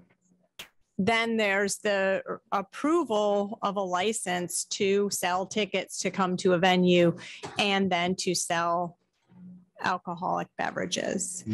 And um, that's the piece that can be modified pretty um, directly and regularly. It's not a permanent grant of the use. And so you might ha- be able to have, um, you know, um, a show um, where you are selling tickets, but not being able to sell alcohol, alcoholic beverages. And um, it's still considered, from a zoning perspective, it's the same thing, but your licenses might just be different. Um, so we have attorney Seewald, solicitor Seewald with us. And um, so I had a question about, you know, the, the revocation of a license. So we have these two licenses, potential paths for a license. There's the, the license commission, which would regulate uh, in, in the case of liquor. um, or alcohol of any kind. Um, and then we have the mayoral entertainment license, which is the mayor's office. And uh, could you give us an idea of, you know, when is it appropriate to revoke such a license? Um, and and that so yeah, that's my question. Thank you. Uh, good evening, councilors. Um, so uh, once uh, a liquor license is involved, there will no longer be any mayoral license. That license will now be an entertainment license issued by the License Commission. And uh, this, the, uh, the statute upon which the License Commission issues those licenses um, sets out a number of um, circumstances in which a, an entertainment license can be denied or uh, revoked or suspended. Uh, the, the statute also points out that entertainment is uh, First Amendment uh, protected activity. So unless a clear finding, and it's going to be the city's obligation to show that there is that one of those circumstances has arisen or will arise from the use, um, the presumption is that the license will issue. So if the burden is not on the applicant to show that it won't happen. The burden is on the city to show that it will or it, it has. And so that's the licensing process. And I will say that unnecessary disturbing noises in the neighborhood is definitely one of those circumstances upon which a license can be denied, suspended, or revoked. Great, thank you. That's a paraphrase from the statute. That's not obviously, I, am not reading the statute right now. But we had this come up in, in the center of Florence um, with the outdoor entertainment at um, Imus Flows, the, the bar there. JJ's? Yes, JJ's. Right. Other questions? Jim? Yeah, one more quick one, and it, it's because we have this development agreement going along with the zoning change. And just, to- so if the, if the owner moves on, the development agreement stays with the property for the duration of the, the thirty years for that work. Yeah, so what, what's, what it's making it expire after thirty years is that historic, the, the restriction can only last for thirty years. Correct. So, but that doesn't, so if a new owner comes in, there doesn't need to be a new development. No. Jim, just a reminder to turn your mic on when. Thank you. Okay. Thank you. Okay, any other questions? Is our hand up, Cassandra Holden? Yep, we'll take that. Go ahead, Cassandra. Hi, thanks again. Um, I realized I didn't say it the first time. Uh, my name is Cassandra Holden. I live at uh, 408 North Farms Road in Florence. Um, so just a couple of words about like where where that is in Florence. So you know, we I'm I live past Fitzgerald Lake and I have a farm on one side of me and both of my neighbors operate heavy equipment.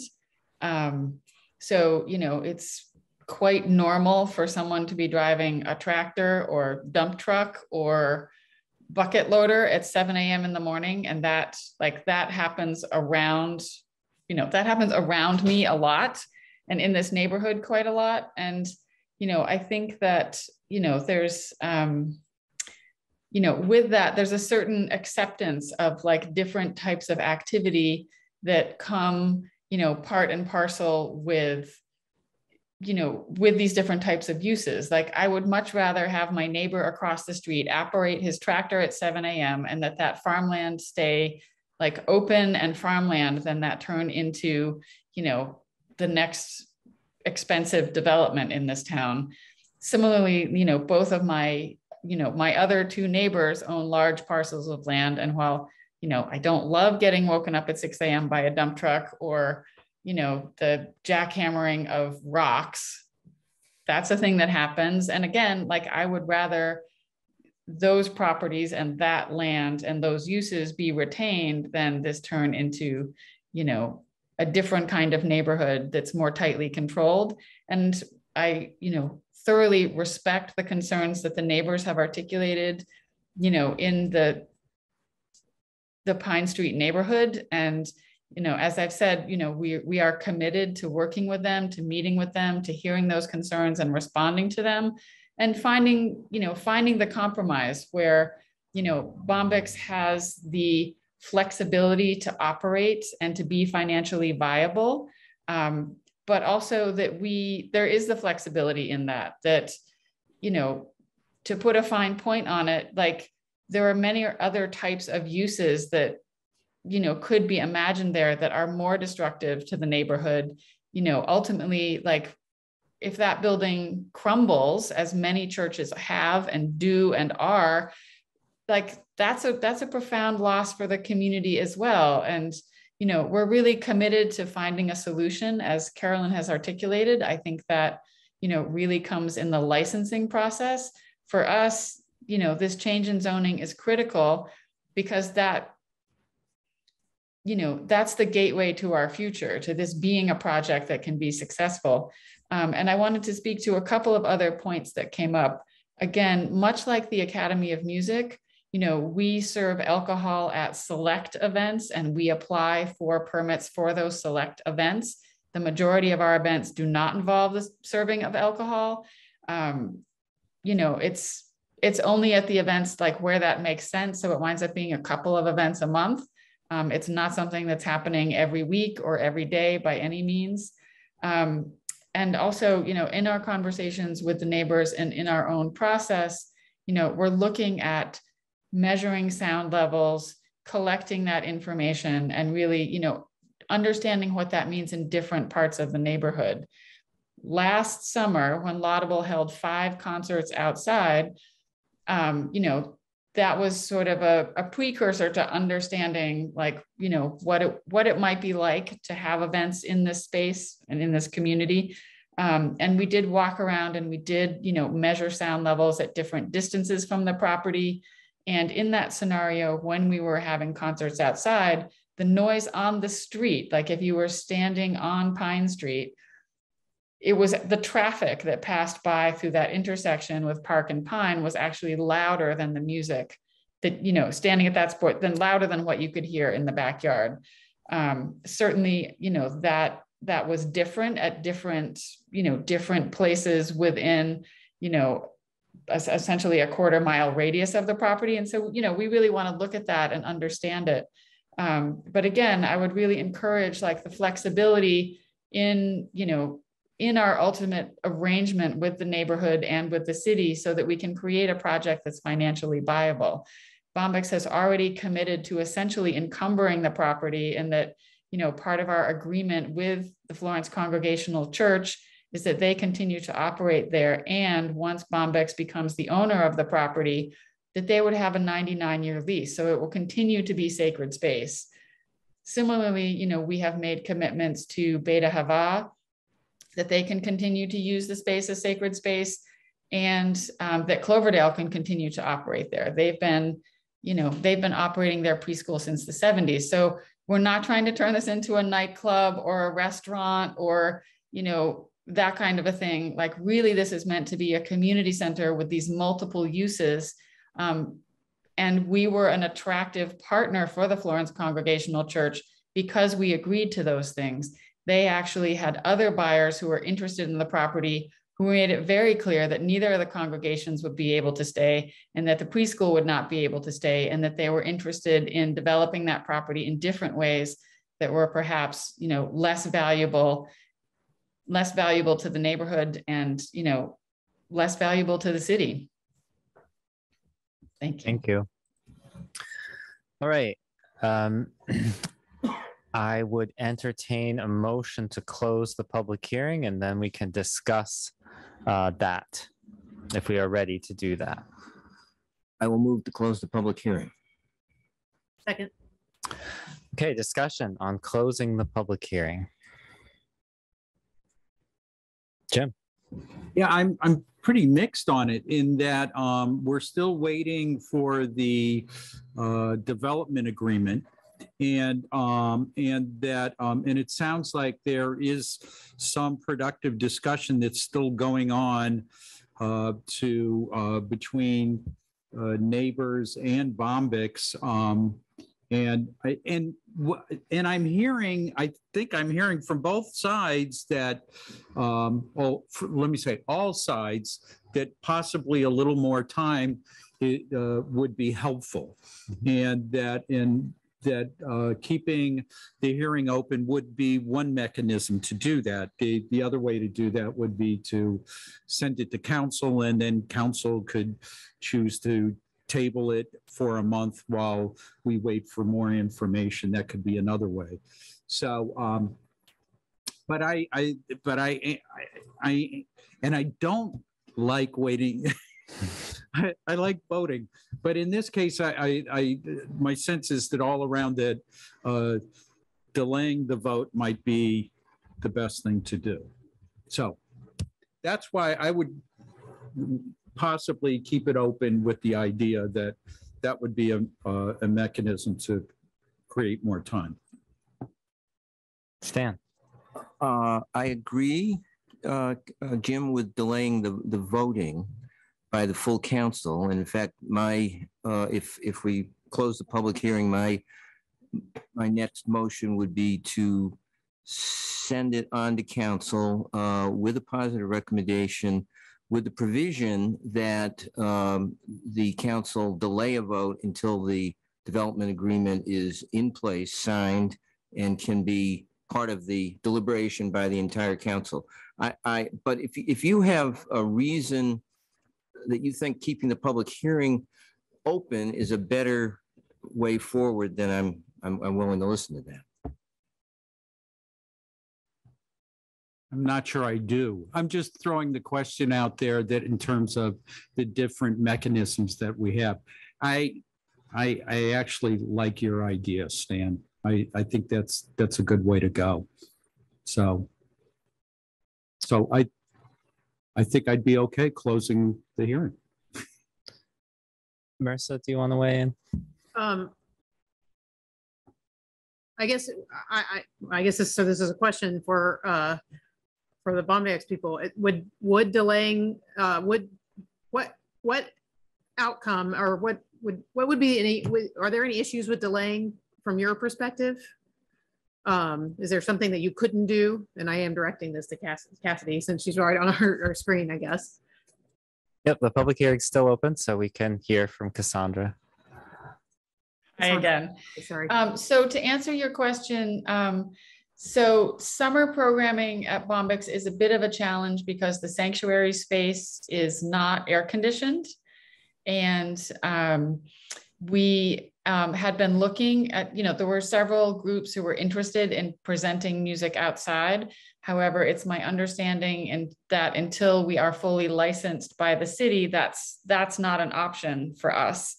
Um, so um, so I I think I'm of uh, I stand with one one foot on either side here because on one hand I really see the value of taking the time to you know work through the the details of the licensing and an informal agreement with the neighbors and moving that process forward.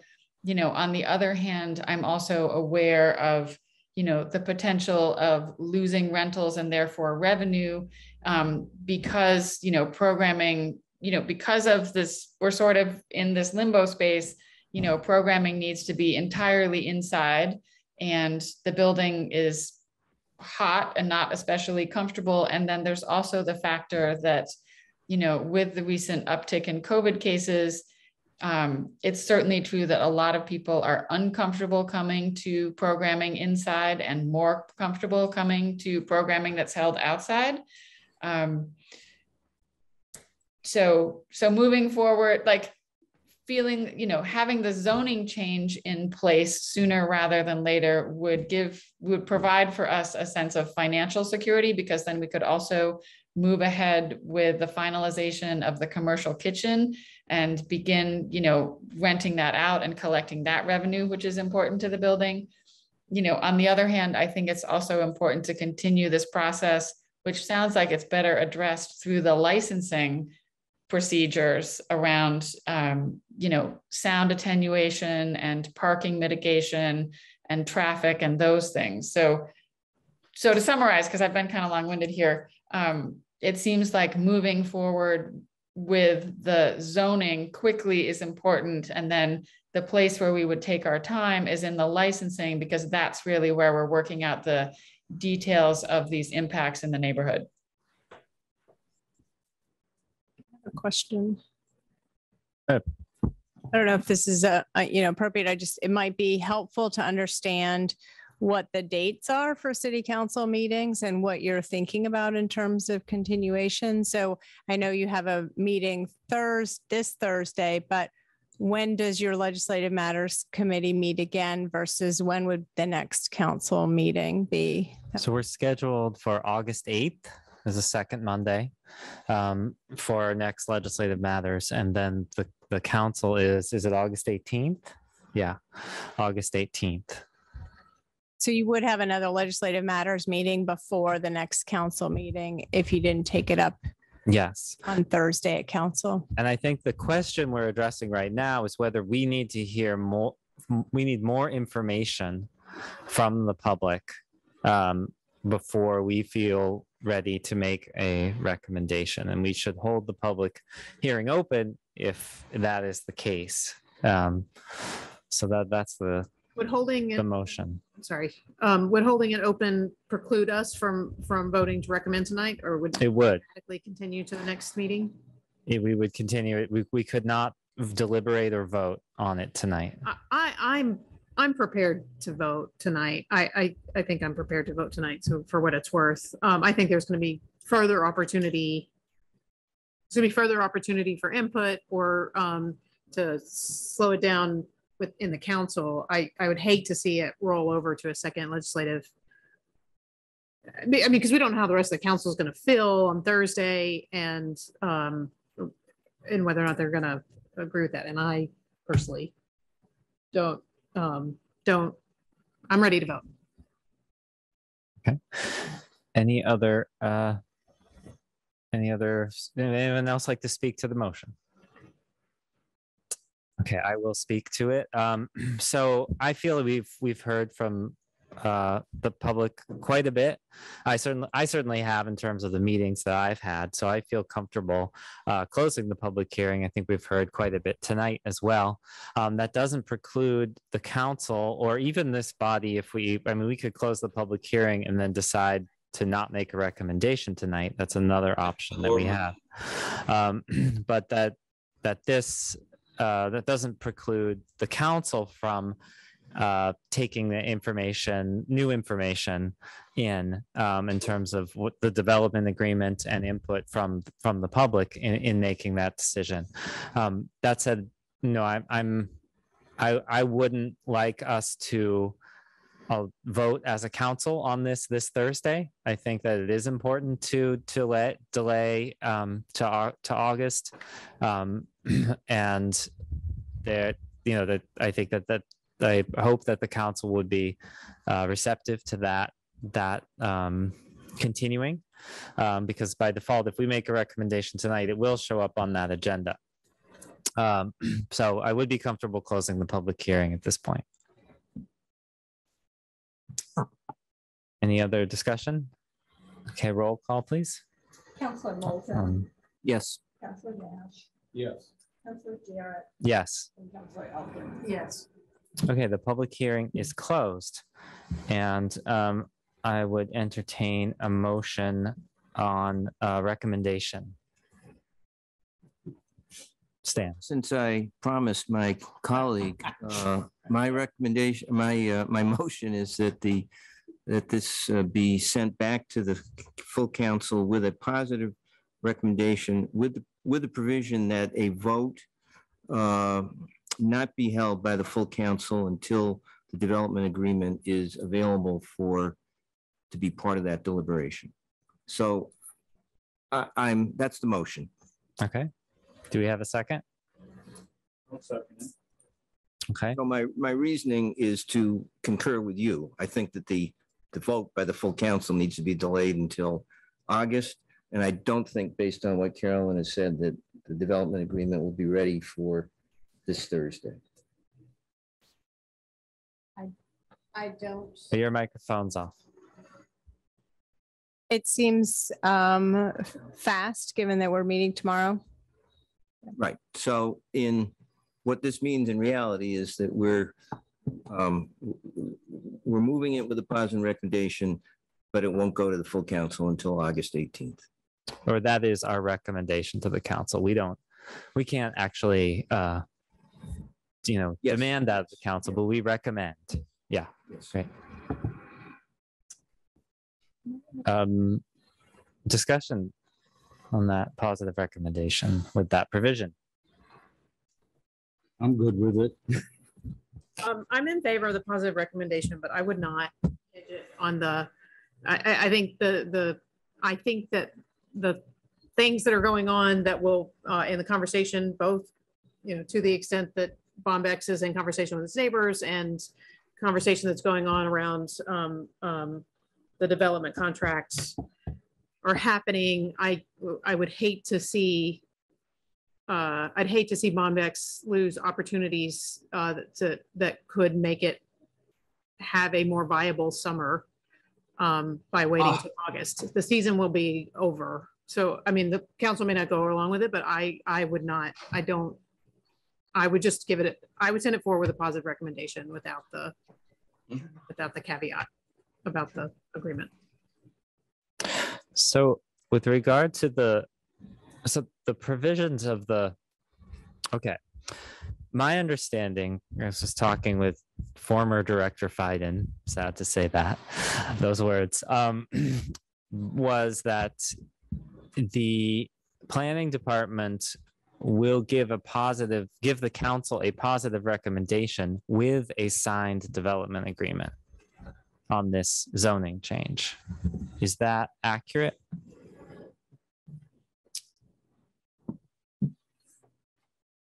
Um, As I said at the beginning, I think that it makes sense that, that yes, there'd be a signed development agreement, and that's the way it's drafted, is that the signed development agreement before the council takes action on the request for zoning. So Marissa, does that, I mean, I think, you know, is the intention of the sponsor to not have us move forward until there is a signed development agreement?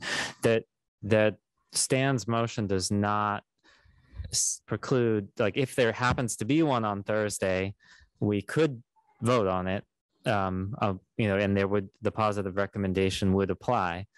Uh, so I'm wondering if that addresses your concern. Um, Um, I guess, uh, well, so the thing is, is that that provision was, uh, done before the, you know, the reality of the timeline and, and, you know, before events played out. And I guess I'd want to hear in the, in the larger council on Thursday, a more, by that time, they will have had an opportunity to say, we're here, we're this close, we're that close, we're miles apart, whatever. Sorry, uh, whatever the case may be, and we could hear what the eff- effects of delaying could, could, could be. Uh, I'm just happy to reserve that question, notwithstanding. Um, and, and I don't, I don't, I don't really want to put a stamp from this committee uh, that makes that seem like, uh, I mean, it's just not a deal breaker per se for me. I, I can be persuaded to, to, to delay. I, I, I think there are good reasons. We're hearing kind of both things from both, from all sides, not, and I, Mhm.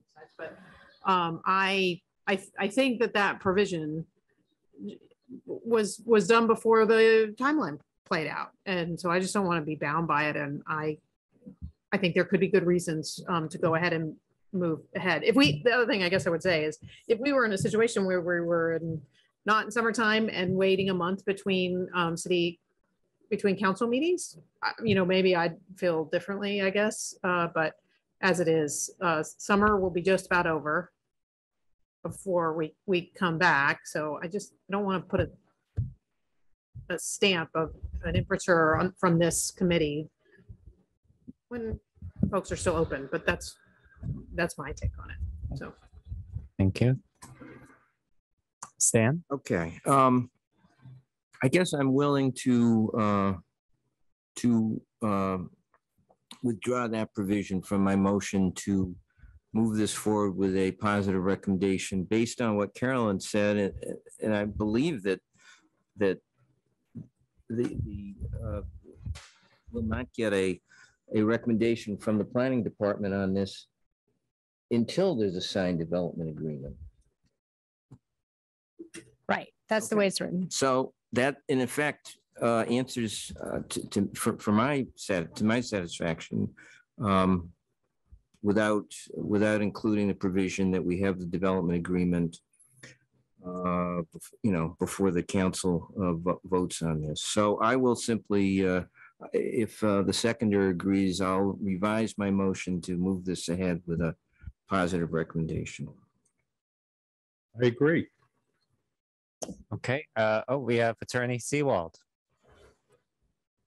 In my experience, when de- development agreements are used, the development agreement has to be in place when the city council votes.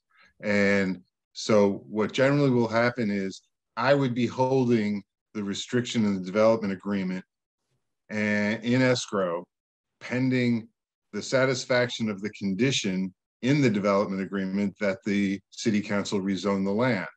If the city council fails to rezone the land, I return the development agreement and the restriction is never recorded. If the city council passes uh, the zoning amendment, I then go and record at the registry of deeds and the, and the thing is done. But practically, there's really no way to do this without a development agreement in place. If the zone change is going to be subject to a development agreement. Now, this is a, a- a zone change that could be, that could stand on its own.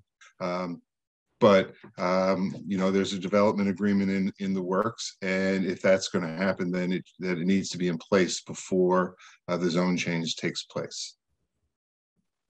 Thank you, Alan. I think for me, that clarifies that regardless of which motion goes forward, we are not, I know, I'm certainly not going to be comfortable approving the zoning change without the signed developing, development agreement. Um, uh, So I am comfortable moving this forward with a positive recommendation with that understanding. And I would say, part of it is just that I hate redundancies. Mhm. It's re- It's redundant of a few uh, safeguards in terms of the timeline. So for what it's worth, and that is part of what motivates me. Okay, so we have a s- revised motion on the floor for a positive recommendation, which you have seconded. Okay, Uh, any other discussion on this? Yep. Well, I, I just want to briefly um, summarize my, um, the way I see this. Um, uh, I don't think anyone who's spoken tonight has uh, uh, taken issue with the mission of Bombyx. Uh, And I support very strongly the mission of Bombyx. Uh, What is at issue uh, to some extent is the, the, the mission of Bombyx in this particular building. And I believe that the mission of Bombyx is tied to this building the, uh, the vision of a community center for Florence that, uh, that uh, continues the use of uh, the church, the synagogue, a preschool, and now a performance space and gallery. It's, that is integral to what Bombyx uh, proposes to do. And I do think that it is in line with sustainable Northampton and with goals set forward in our zoning to support arts and culture. I don't see this becoming another Drake in Amherst.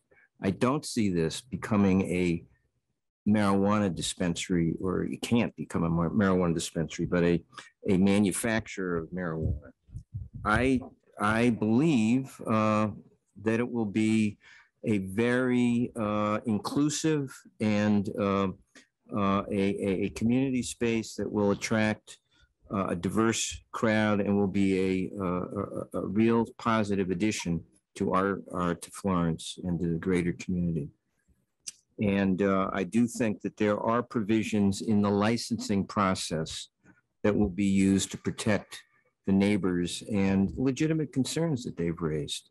Uh, That's why I feel uh, I'm, I'm very strongly supportive of the the zoning change.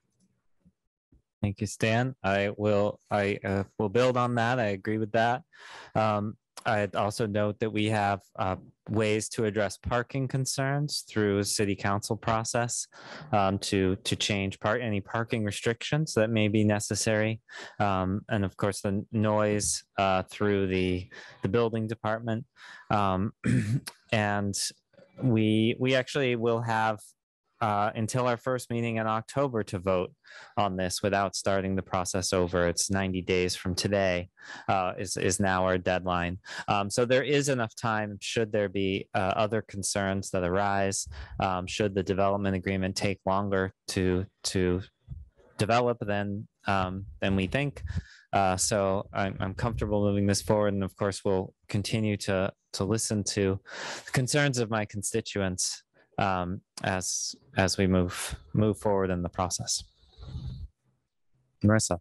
Um, and so I'll just briefly add to that. I, uh, I'm confident in the, um, in the building department and the licensing, um, aspects to, eh, to most efficiently deal with the things that are most concerned, uh, and appropriately most of, most concern to the neighbors.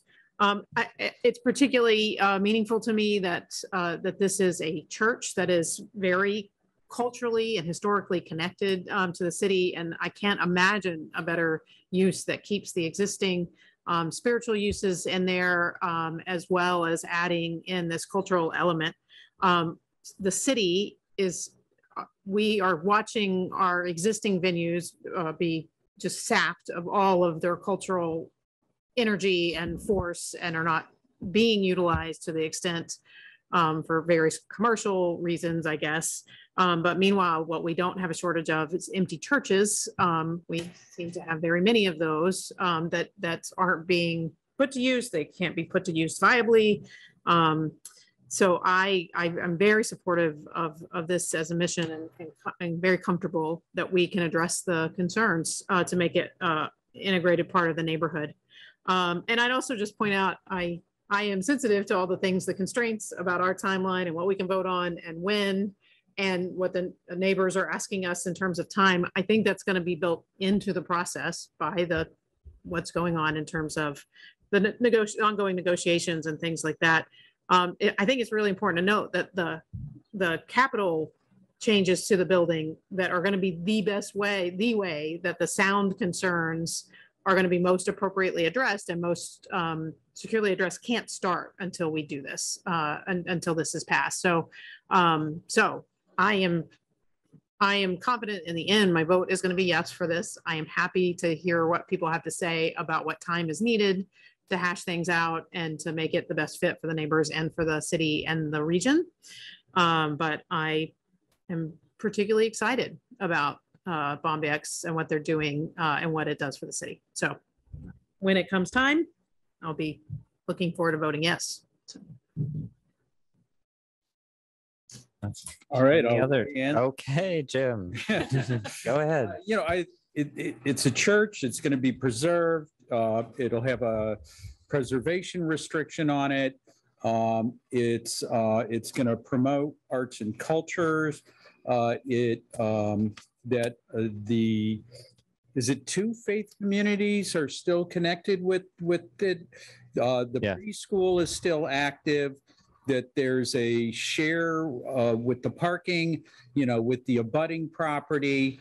I, that in, in so many ways, this is, this is a, this is a win. And that, you know, as somebody who's working on trying to, with, with uh, residents on trying to save a church in another part of the city, that, you know, to have this, in fact, this was kind of the ideal situation that, you know, many of the, the folks that are hoping to preserve that structure um, we're, we're looking for. An arts organization uh, connection with the with the community and um, and I I you know and and I do think that these that the concerns I, I get noise at midnight is not a good thing. And I think there's ways to address that.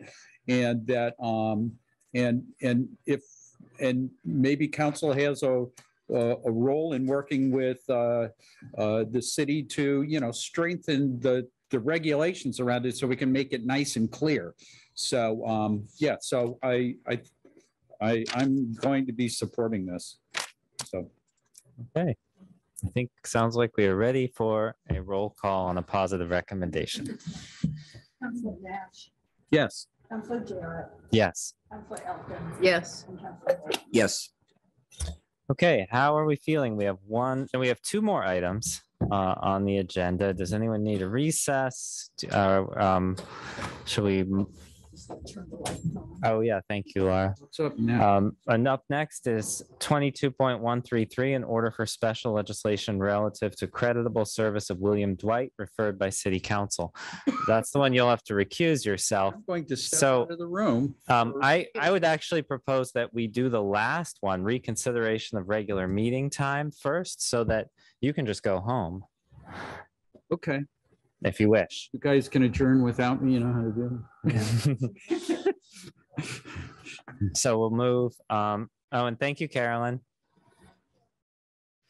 Uh, we'll move out of order to seven A reconsideration of regular meeting time. Um, Marissa, let me know that fi- she just no longer has the five thirty restriction.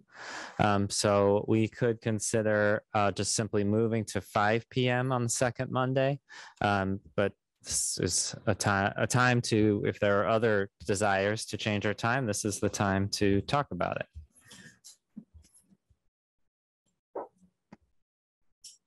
Jim, Five sounds great. We're still talking, we're still talking. That we were adjourning, er, we're taking a break, but we're not. We're doing this. oh, no, I suggested, I asked if anyone needed to take a break, but I did not hear I you. took a break. Oh, do you need, I mentally took a break, but okay. yeah. If, you- if you need a recess at any time, just let me know. Nope, let's, let's plow on. Okay. Um, so any other discussion uh, about meeting times before we, we'll do a motion on changing it? You're, uh, Mercy, you're permanently good at earlier? I, yes, I can make myself permanently good. What are we saying, five? Yeah. It's fine. Five, five is fine with me. All I right. mean, I wouldn't cry about four thirty either.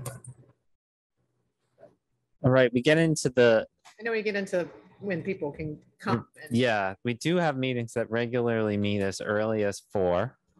Um, and I, guess the question is, yeah, are we, are we limiting who can make it by starting so early? Uh, five does seem like a good compromise, given that we, we hold public hearings here. And, um, in the, like, city services, the city services meet at four? Yeah, so, um, that's one- one that doesn't hold public hearings. Uh, to me, that, that it gives, uh, a, you know, five is a more accessible time for that. Fine, I was just letting it be. Yeah, yes. Personally, I'd be fine with earlier, but I, I, I want to respect that, Yeah. that balance. Well, Should, can I make a motion that we move, uh, our permanent meeting time to five? 'Cause I was the reason. Second, Any discussion? Okay, roll call, please. Councilor Jarrett, Yes. Councilor Elkins. Yes. Councilor Moulton. Yes. and Councilor Nash. yes. All right. So Councilor Dash, did you want to speak to your Yeah, I'm recusal? gonna uh, recuse myself from the, the last item on the agenda as I am related by marriage to the person uh, who's being, who, who is the subject of that legislation. All right. See you later. Yes, enjoy your evening. Wow. All right. Like, uh, Jim, you can come back for adjournment if you like. You hang out the window right there. Move to adjourn for the friggin'. Okay, um, so as I said, twenty-two point one three three, special legislation relative to creditable service of William Dwight. This was referred by city council and, um, I why don't we go ahead with a posit, with a, a recommendation, a motion on that, and then we can discuss it. I would uh, move a positive recommendation. Second. Okay, would you like to speak to this? Um, I, uh, is there anybody?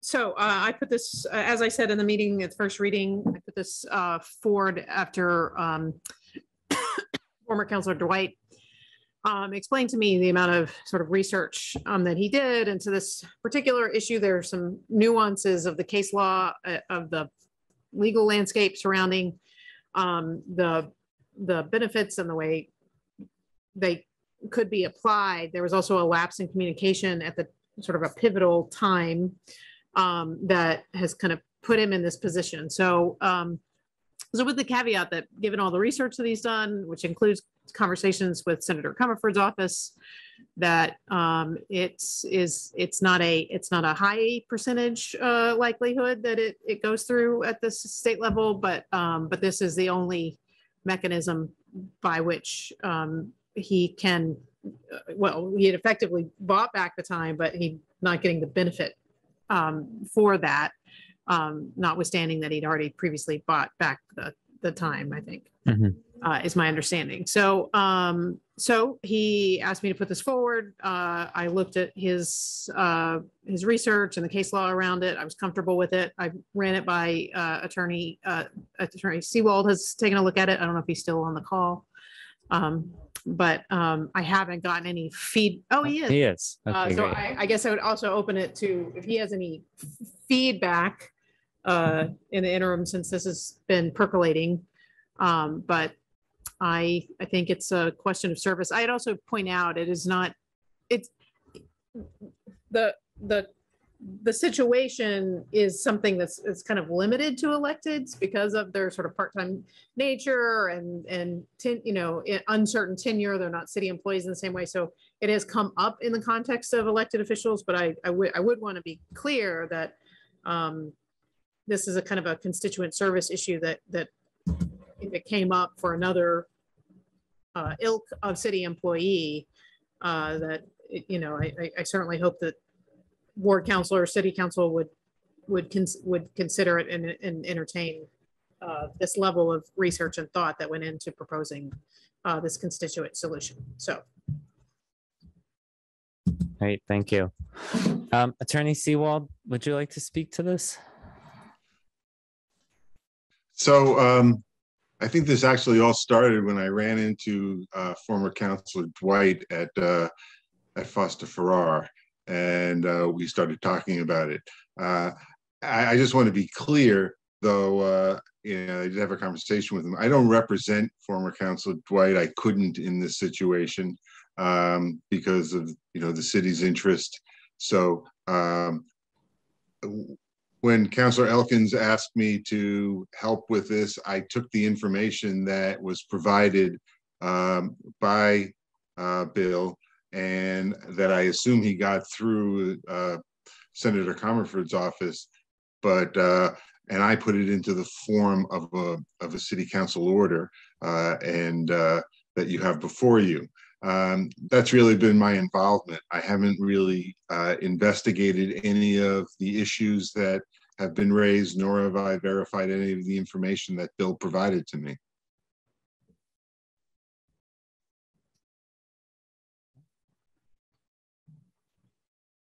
And do you, is anybody have any questions? Um, is this something we've seen happen for other folks? Is this, is there, is this path? Uh, do you know of other examples? I don't, and not in, not in our city. I mean, there is existing case law and around uh, this particular issue. um, And uh, what opinions from the, um, forget the regulation, the, I, I forget where the opinion would come from. Maybe the AG's office, uh, Attorney Seewald, I, uh, Uh, I think it may be the Division of Administrative Law Appeals.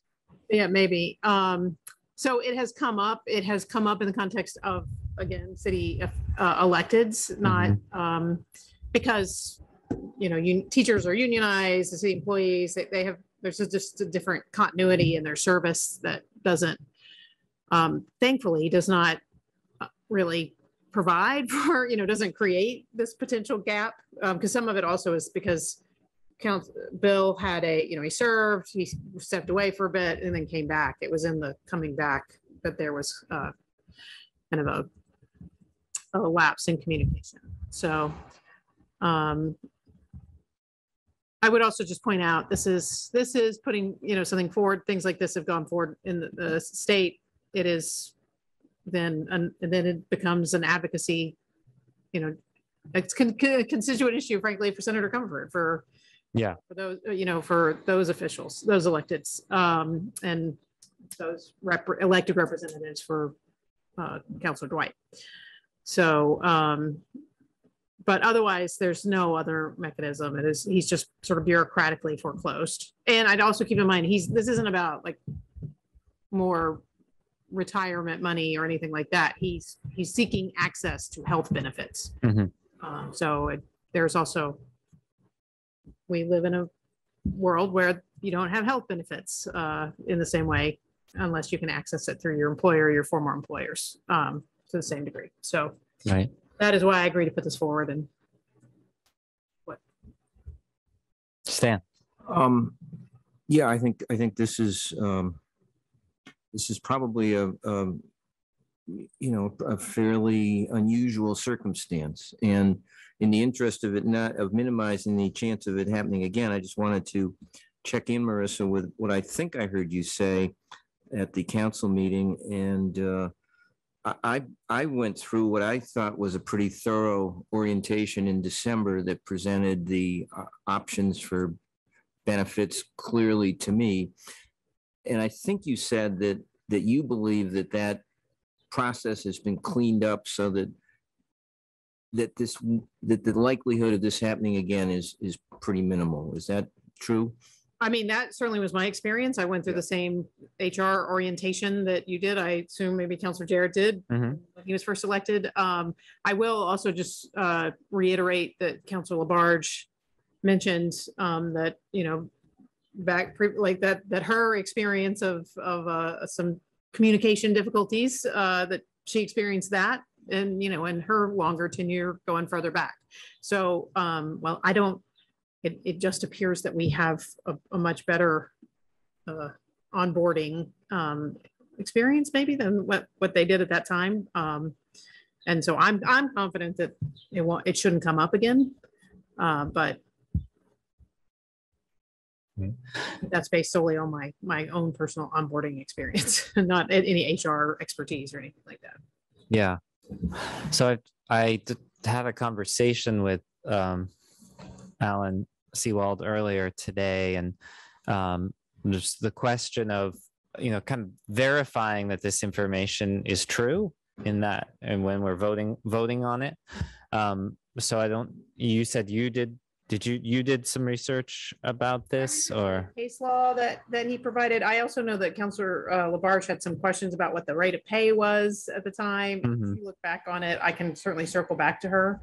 Um, uh, to question that. If there's specific questions, um, I guess about sort of the the factual, uh, uh, background of all this, I certainly would like to know them and then I can, can, uh, I mean, I'm certainly can get back to you with answers by Thursday. Um, if there's anything you feel like is left hanging. Okay. Yeah, I mean, I don't doubt um, I mean, I will say. Bill you know, Dwight's, you know, you know, I'm sure. The timeline, I did not go into the city records to, you know, pinpoint all the exact dates, but I will if you want me to. Yeah, I, I mean, I, you know, just it's essentially in case a mistake had been made. Um, I don't doubt anyone's intentions. Uh, but just if we're putting this forward to the state, I'd like to make sure that we, we have everything correct. I think we had verified those dates of service too, when um, we were trying to find out all the councilors who had served with Councilor Dwight to get them to sign the um, drawer. Uh-huh. Um, I remember we actually did go into the city clerk's records to you know, verify the- the dates of service. Okay. Yeah. Yeah. As part of that process. so.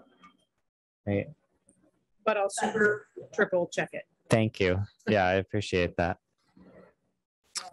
Are there any other specific questions uh, that? Um, let's see. Let me just bring that up. Um,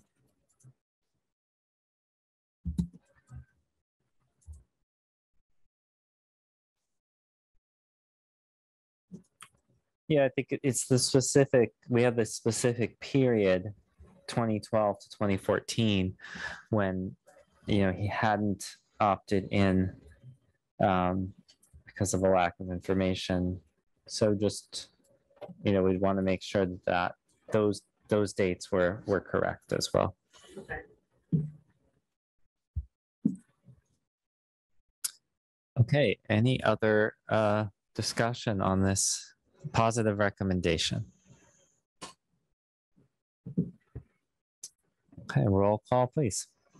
Um, Councilor Elkins, Yes. Councilor Moulton. Yes. And Councilor Jarrett. Yes.